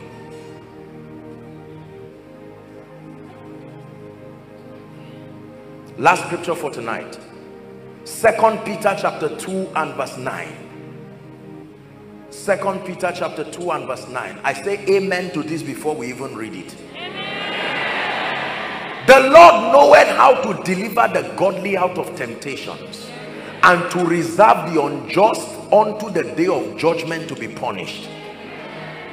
The key word or the key phrase is the lord knoweth how to. God knows. A woman knows how to make jollof rice. God knows how to deliver you and knows how to push the enemy to the place where he knows that there is a god in heaven. God is a deliverer deliver us from evil is a prayer you need to pray sincerely. Deliver my family from evil. Deliver my ministry from evil. Deliver my business from evil. This is jesus teaching us how to pray. That this must be the construction of our approach to prayer these are the details that must be captured in prayer that prevails. Please listen to me believers. We are wrapping up. The lord is teaching us this because he wants our prayer life to be rich. That when next you go to pray whether you are praying in the spirit whether you are praying in understanding you must approach it with this body of thought with this mindset i am coming to my father. I have the faith to approach him. I approach him with the spirit of reverence. My priority is that the kingdom come. I know he's a giver. He gives me daily by supplying favor and using the ministry of men. So every time you are praying god open a door. You are not just praying a blind prayer. Father doors must be open. Doors no you know how the doors are open. You are no longer in confusion. If i ask you now how do doors open you shouldn't be confused. It is through men. So when i'm saying lord open doors invariably i'm saying send destiny helpers. I'm no longer praying a careless prayer. I'm not shadow boxing. I know.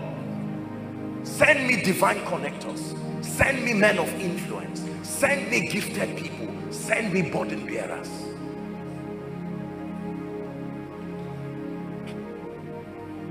If God wants to lift me how does he lift me? He uses men. So give me the wisdom to maintain strategic relationships oh God. Now your prayer life is fruitful. Just pray randomly. God don't leave me like this. Change my story. Wipe my tears. It may be a sincere prayer but I'm telling you you will not be able to maximize that prayer because intelligence is not captured in that prayer. Now if God comes and speaks prophetically. In the name of Jesus by this week you are returning with a testimony. While you are saying amen you are not just saying a blind amen. There are revelations that support your receiving. What are the revelations? Favor is upon my life. That favor will make men to come to me. That favor will orchestrate events. That is the basis of your saying amen. The devil will not plant doubt now. You know why you are saying amen now you give the holy spirit room to be able to walk that word. Are we together? Every closed door be open now. You are saying amen. You know why you are saying amen? Because there is the power of the holy spirit that can swing open doors in the spirit.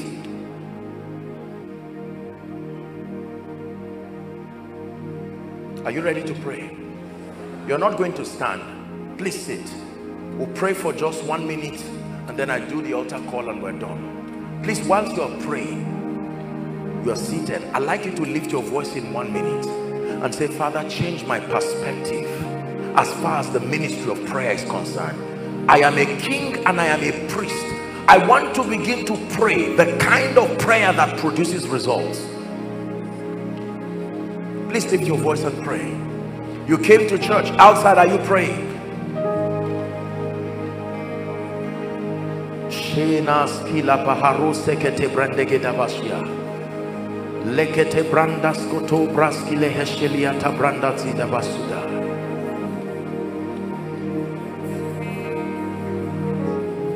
The mystery of prevailing prayer.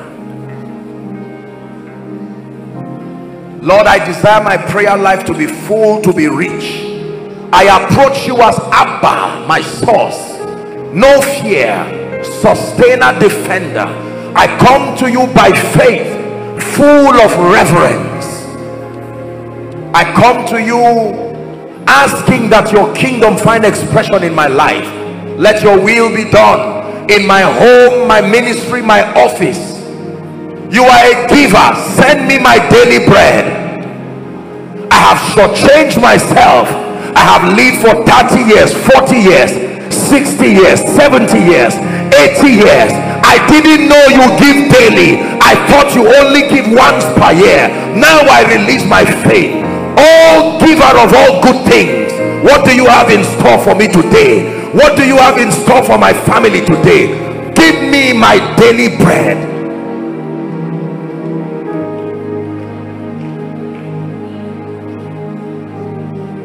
Forgive me my trespasses I obtain grace to forgive those who trespass against me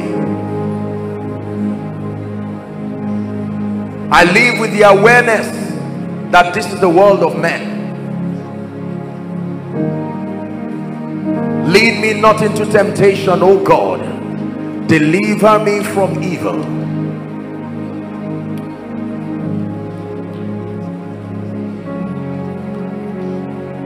We're wrapping up. Then the prayer he taught ends with this. For thine is the kingdom the power and the glory forever and ever. Amen. For thine is the kingdom the power and the glory forever and ever. Keep praying. Amen. For thine is the kingdom the power and the glory forever and ever. Amen. Thine is for thine is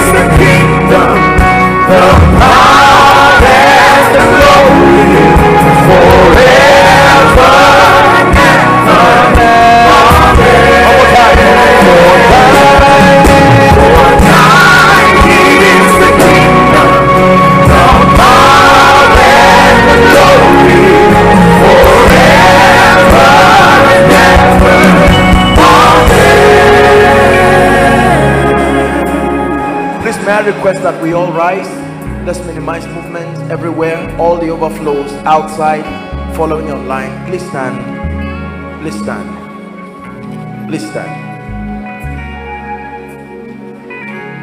I want to make the altar call. It never tires me to give people an opportunity to run to Jesus.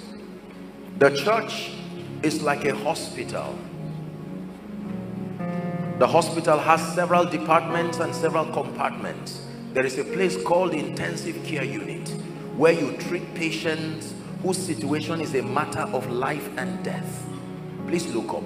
No matter what it is that you have and you know if Jesus is not Lord of your life you are truly not saved. It says what shall it profit a man if he should gain the whole world and to lose his soul? Week in week out we have thousands of people streaming in coming here following online from all across the continent it's our assignment to give people room to truly come and make bold declarations for Jesus. You are here under the sound of my voice in this main auditorium and then outside. You're saying apostle I love Jesus but I'm yet to make a genuine decision. For some of you you probably have made the decision and your life just went haywire and you're saying I need Jesus right now. We have just two minutes for you. Wherever you are whilst we clap and encourage you please very quickly run from your seat and I want you to come and stand here. Run and come and stand here. Run like there's fire on the mountain. Come like you truly mean business with Jesus. Don't be ashamed. Don't say we came in group. Uh-uh. This is a personal affair. Koinonia is this the best you can do for them? Celebrate them as they come scripture says he must be born again. You must be born again. Keep coming. Win that war tonight. Jesus is giving you an opportunity to make it right. Is this all? I still believe there are a few more people. All those in the overflows just move to your projector stand. All the overflows right down to the basement and then outside. Move to your projector stand and you who are following from your home your office your device wherever i want you to connect. I'm about to lead them in this prayer. Make sure you participate in the prayer. God bless you. Thank you. Thank you for being bold. Thank you for not being ashamed of jesus. Hallelujah. If you're joining them please quickly come. Quickly come ladies and gentlemen thank you. Thank you for the boldness. It takes a lot of boldness to come and stand before Jesus and before his people. But can I tell you this? This is the noblest and the wisest decision any man can make in his lifetime. The decision to hand over everything to Jesus in exchange for his life. The Bible says as many as will come to him he will in no wise cast away. It doesn't matter how you have been how you have lived what went right or wrong he's able to give you a new beginning. Lift your right hand and pray this prayer from the depth of your heart. You're not reciting a poem. Jesus is here. Say after me very loud say it very clear. Say lord jesus i love you with all my heart and i believe that you are the son of god. Tonight i make you my lord my savior my king i obtain forgiveness of sin I receive your life. I receive the abundance of grace and the gift of righteousness. And I declare that I reign from tonight and forever. I am a child of God. Amen. Keep your hands lifted. Father, thank you for this once. It's always an honor to present to you precious souls, men and women who Jesus died for. Lord, I pray according to the authority of scripture, I declare their sins forgiven. I declare that you give them a new beginning even by your spirit. The power of Satan, the power of sin, the grave is broken over your life. From today, I declare that you are commended to the ministry of the word and the ministry of the spirit the lord himself will build you to be mighty in the spirit you go from glory to glory in the name of jesus christ. Amen and amen. God bless you. Now very quickly thank you. I'd like you to please follow this gentleman waving the placard up and they'll just have a word with you and you'll be back to your seat. Please celebrate them very quickly. Celebrate them very quickly. Hallelujah. Thank you for your patience. Just give me two minutes. We stretched a bit. Now um, i really apologize I, I honor everyone. This is a house of honor. We make it a culture to not trivialize people. I know that there are so many people noble people who come from all over this city and around this nation.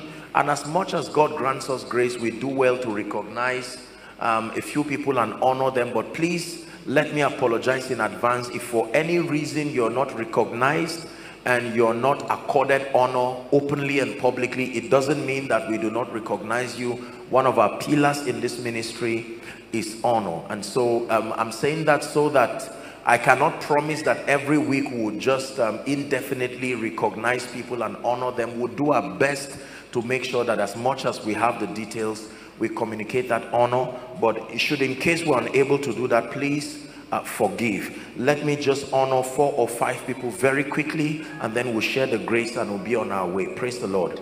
I want to as always honor um, honorable dr john abraham and his wife. Thank you. Thank you. Thank you ma this time around you're with your wife. And then i'm told um, he came with a pastor missionary um, pastor dr romana. Did i get that right? A missionary from poland. Blessings blessings to you sir. Thank you. Hallelujah. And then um, Honorable Blessed Honor, the SA to the Benue State Governor. Blessings to you. Thank you. He was here last week also on religious matters and he came with his entourage also. The Lord bless you. And then Honorable Forgive Me is it Orugu? If I didn't get that right, please forgive me. Also the SA to the Governor of Benue State on Youth and Student Affairs. Are you here, sir? The Lord bless you. Thank you. Appreciate you. Thank you so, so much. And then um, we have Mrs. Hawa Philip Aduda, the wife of Senator Philip Aduda, representing the FCT. Thank you. The Lord bless you. Truly honor you, ma. Really appreciate you. Every other dignitary, every other noble personality, we truly honor you and I'm sure that the protocol will just direct you so we have a word briefly after service the Lord honor you the Lord increase everyone thank you for coming now a very important announcement for the first time in Abuja next week Sunday will be our first miracle service. Hallelujah. Please listen. Listen please do not miss it for anything. Come early. Now just two instructions. I want you to come with your request. Write everything that has troubled you everything that will not let you go. There is a god that answers by fire. We're going to collate all of the requests even for your loved ones who are unable to make it please bring it. We're going to be praying at the altar here. If you have points of contact documents that you want the lord to visit you with please do well to come with them. And then for all our international guests please do well to reach our pr lines so that they can help arrange your coming especially with the whole pro, uh, covid formalities and, and so on and so forth. And to let you know that we have a very able a very capable medical team that can attend to your medical needs should in case you need anything around um, you need medical attention in as much as we have several doctors and consultants here we have a dedicated medical team of professionals to attend to you. By God's grace, Pastor Nathaniel Bassey will be with us next week, Sunday here. So it's going to be a wonderful time in the name of Jesus Christ. Time is 5 p.m. on the dot. We start so that we can finish on time. Are we been blessed tonight? The Lord bless you in the name of Jesus. I decree and declare that he will cause his face to shine upon you in the name of Jesus. The Lord lift up his countenance upon you and may he give you peace I pray for you and yours this week beginning. You are blessed in Jesus' name. You carry the favor of God in the name of Jesus. You go from glory to glory, from grace to grace, from power to power. Everything that does not honor Jesus, you stand upon it this week. In the name of Jesus Christ. You return by next week as signs and wonders. In the mighty and matchless name of Jesus Christ after the grace do well to greet one or two people before you leave and please um, because of the security situation I want you to cooperate with the protocol and the security team then again let me plead respectfully please do not waylay any of our dignitaries who are people of honor. Let's do well to not embarrass them. Praise the Lord. Everyone is honored. Everyone is celebrated. But please let's cooperate with the protocol and the security team inside and outside. Let's share the grace. The grace of our Lord Jesus Christ the love of God, the sweet fellowship of the Holy Spirit rest and abide with us now and forevermore. Amen. God bless you and see you next week Sunday.